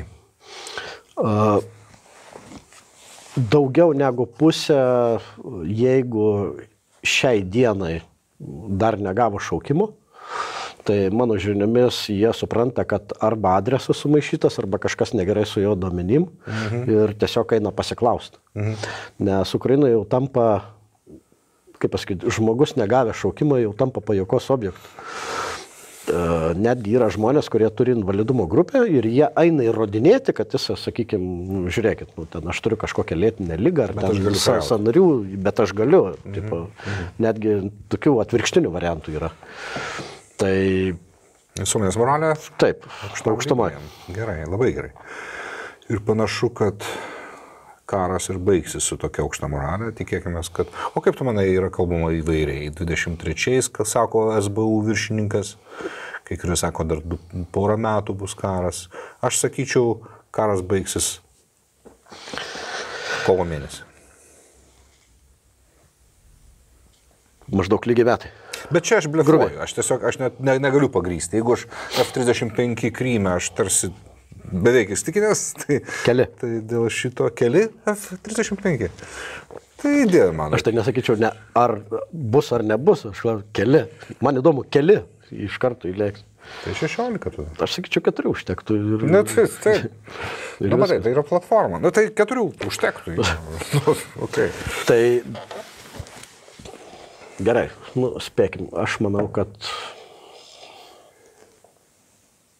su išsivalymu pilnos Ukrainos teritorijos Ta prasme, iki 14. iki Liepos, Iki Liepos. sekančių metų. Mm. Turime iki 14 metų. Krymas, e, Donbasas mūsų. Taip. Iki Liepos. Nu, tai gerai. Nu, tiesiog Pažiūrėsim. jiem reikia išsibandyti žiemą. Mhm. Aš manau, kad jeigu yra tas dalykas, žinai, vasarą nepaėjo, gal žiemą paės. Mhm. Kita vertus, nu, labai gerai matosi, kad uh, rusai tempia gumą. Jie nenori. Uh, Ta prasme, tiesiog dabar nėra kaip. O nėra taip, kad... Pasakysiu taip, jeigu nenukentėtų dabar jų ego, jie jau šiandien susirinktų viską ir bėgtų. Tiesiog, kaip jie prieš visą pasaulį nu, liks Tai čia vėlgi tas šachmatų terminas, kuris reiškia, patyčių objektas. kiekvienas e, ėjimas tiesiog priartina krachą. Ką bedarytum? Sumcvangas, kaip jisai. Toliau, Evaldas, ketvirtas klausimas. Čia kokia pagrindinė žmonių motivacija kariauti? Teritorijos atgavimas, pilnos okupacijos baime ar kitka? Ir tas, ir tas. Tas ir tas. Ir kerštas, aišku. Ir kerštas. Ir kerštas. E, Sigitai, mes prieartėjom prie paskutinio klausimo. Aš, Dievas, matau, ką tik e, re- atrefreshinau Patreoną, daugiau nėra. Ir paskutinis klausimas Nerijus klausia ir labai mandras klausimas. Ar gyvačių sala netapo Blackwaterio atitikmenė? Nors aš pridėsiu, gal taps, jeigu dar netapo.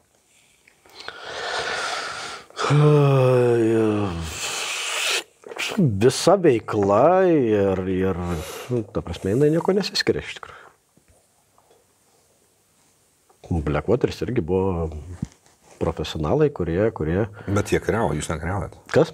Bet jie kariavo, jūs nekariavot. Tiesiog nes... Ar jūs tik nesako, kad Nes yra? mūsų įsitikinimu, kaip pasakyti, mes per vieną savaitę apmokinam, arba ne per vieną savaitę gal, sakykime, taip, per tą periodą, mano supratimu, mes padarėm daugiau gero, negu patys būtumėm pasėmę ginklus ir išvažiavę.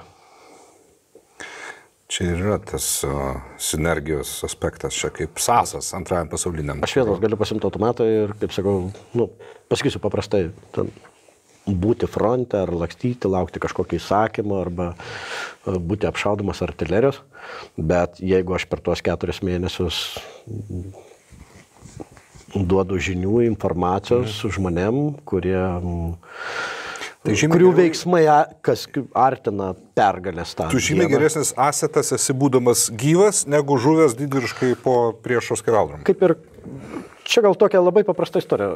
Nuvažiuojam, mes ten turim tokius aplūžusius automobilius, nu jie jau aplūžę, kurie žmonės tiesiog padovanoja mum, mūsų veiklai. Mhm. Ir e, reikėjo keisti padangas, reikėjo daryti suvedimą ir tiesiog radom garažėlį tokį, kur, kur dirba Miša, pavadinkim, ukrainietis. Mhm. Ir jisai sako, Dar negavau šaukimo, reikės eit aiškintis. Sakau, Miša, kol negavai šaukimo, remontuok mašinas. Mhm. Jeigu tu būtum jau gavęs šaukimą ir išėjęs į frontą, kas dabar remontuotų mūsų mašiną? Mhm. Tai va taip, karo metu kiekvienas žmogus prisideda tiesiog geriausiai, kaip jis gali. Mhm. Mechanikai bus labai paklausios specialybės. Tai reikia, kad jie dirbtų savo darbą. Vieni turi vairuoti mašinas, kiti turi remontuoti, treti šaudyti, kiekvienas turi daryti kitas gydyt. Aš prie pabaigos vis dėlto, man niekaip, man vis maga išsiaiškinti, kaip ten su tais tavo anticipuojamais e, A10 ir F16. Negi tikrai amerikiečių piliečiai skraidys jais, nes apmokyti pilotą valdyti. Tai kaip, kaip dabar vokiečiai, sakykime, vokietis. Mm, Gerai. Pas mane vienas iš instruktorių yra falšimjėgeris. Kas tai yra? Vokiečių Jėgerio desantininkai. O, okay. mhm. Volkstrumjėgeris? Ne. Falšimjėgeris. Okay. Mhm. Tai nu, jis vokietis. Taip. Jis Tiesiog. yra, jis yra atsargos ir, ir, ir jis dabar padeda mums treniruoti ukrainiečius. Bet masteliai tai net, aš suprantu, kad formaliai, teisiškai tai tarsi tas pats. Ar vokiečių falšimjėgeris mokina ukrainiečių karius kariauti, ar vokiečių F-16 pilotas skraidys virš Ukrainos. Skirtumas milžiniškas. Emocinis rusams, aš turiu minį tą. Ai, tai, tai, tai taip, bet aš kalbu apie... Bet tu žinai, prasme, ta, koks skirtumas? jam tiesiog reikalinga technika ir viskas. Tau nesusidarė įspūdis, kad uh, kitaip suformuosiu. Jeigu Rusija gautų taip stipriai pasaulio atsako e, ir įsitraukimo į Ukrainą pirmom karo dienom, tai Rusija gal būtų ir panaudojusi branduolinį ginklą. Aš turiu minį, kad temperatūra buvo šildoma po truputį. Iš desperacijos? Iš šoko, iš desperacijos. Ja. Taip. Tai gal buvo šventvagiškai nuskambės, bet gal čia į naudą išėjo tai, kad pagalba buvo tiekiama Palaipsniui. palaipsniui. Tai čia yra žmogaus paruošimas. Čia tas pats, kas pasas, kaip čia dabar pasakyti. Vėlgi, ką mes gyvenime darom, teisingai ruošiam žmonės, teisingai kažkokiam surprizui, dar kažkam, tai nemaloniai naujienai galų gale. Mhm. Tai taip, šiuo atveju tą palaipsniui davimą, aišku, kas, kas sakys, bet tai žmonės žūsta. Bet tai reikia turėti supratimą, kad mes turim reikalą su psichiškai nesveiku žmogum, nes, Aš sakyčiau, sveikia 21, visuomenė. 21 amžiuje daryti tai, ką jie daro, tai man tai yra nu, nesuvokiamas dalykas. Aš, aš kaip, kaip jie gyvens sekančius dešimt metų, aš, aš neįsivaizduoju. Tai kaip ir sakai, jeigu, jeigu um, visas pasaulis būtų davęs labai stiprų atkirtį, tai galbūt tas um, ligonis būtų ir jau nuspaudęs, trinktelės delnų per tą mygtuką nereikalingą. O Rusijos ta vadinamoji, ta viršūškė, ta, kuri vadinkim mastologiškai, kuri žiūri dabar dairosi. Darom prielaidą, kad yra, ne? Darom prielaidą, kad yra. Nu, kažkiek jų yra. Dar neišvalė. Ne, kalbam ne apie tuos, kurie yra Rusijos patriotai, nori geros Rusijos ir, ir, Mhm. ir vykdo žu- ukrainiečių spec užduotis žvalgybos.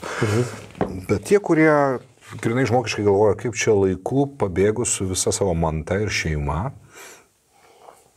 Mm, Bet man atrodo, kad jų nesusirinks niekada kritiniai masiai, kad e, pakeltų ranką ant, ant Putino ar ant Silovykų. Turim, kalbam apie vadinamą Rusijos inteligentiją, gal taip reikėtų vadinti, kalbu iš- kurie supranta, kad tai yra nesąmonė ir kad Aš kalbu apie revoliuciją, va, apie ką aš kalbu. Mhm. Apie perversmą. Suprantat, kad e, Putinas veda šalį į beprotybę ir kad reikia nuimti. tai viskas link to ir eina. Tai labai servilus ir ten yra... Kaip, kaip, kaip tik, kai tik, nu, žiūrėkit, visi žinom, kad e, jie balo savo aplinką. Tiek e, kariniuose, nu, sakykime, kariniai vadovybei, tiek e, civiliniuose. Nu, Kažkaip tai vis pasirodo žinia po žinios, kad dinksta oligarchai. Mhm. Nu, ten arba žūsta netikėtai ir taip toliau panašiai. Kažk... Kad, kad vyksta tai faktas, kaip viskas susiklostė, sunku pasakyti. Dabar tai, kad jaunimas Rusijai patys degina komisariatus, nu, rusai, rusai, Bet jie degina iš savo, ši, šikną savo saugo, ne iš idėjos. taip, taip, tai revoliucija, nu, taip, taip ir Nuo yra. to prasideda. Nuo to ir prasideda viskas. Tai didelis gaisras prasideda nuo degtuko, mažiuko uždegimo ir, ir, ir, ir viskas. Tik tai, kaip ir sakau, kaip ir Baltarusija, kariaujantis Kalinauskas. ja, Ukrainoje, sako, tai nugalėsim juos čia, grįšim į Baltarusiją, pasimti savo, kaip jie sako, savo šalį. Tai yra mūsų šalis, o ne jo. Mm, Tai yra žmonių. Tai aišku. Nu, ir, ir jie nori draugauti su visu likusiu pasauliu normaliai. Ir aš nesuprantu, kodėl Rusija negalėjo daryti to paties. Kaip sakant, draugauti, prekiauti, Aš keliauti. paaiškinau e, kal, kalbiniu. Tai taip, taip. Bet, per kalbą. bet, bet. Tu O galvoji, dabar yra, o dabar yra kaip yra. Man dar bus statomas paminklas už šitą teoriją, kaip jinai jokingai beskambėtų šiandien. Sigitai, ačiū tau didelis. A, Man atrodo, kiek mes čia šnekėjom, tai porą valandų mažiausiai. Tai išsamei, tikimės, kad atsakyti visi klausimai. Labai ačiū Jums, kad remet. Ir iki pergalės. Iki pergalės. Eikite į mūsų puslapį, rasit visus, visus Jo, aš aprašymą įdėjau tau. ja, ir viskas vienas gerai. euras, vienas litras dizelio.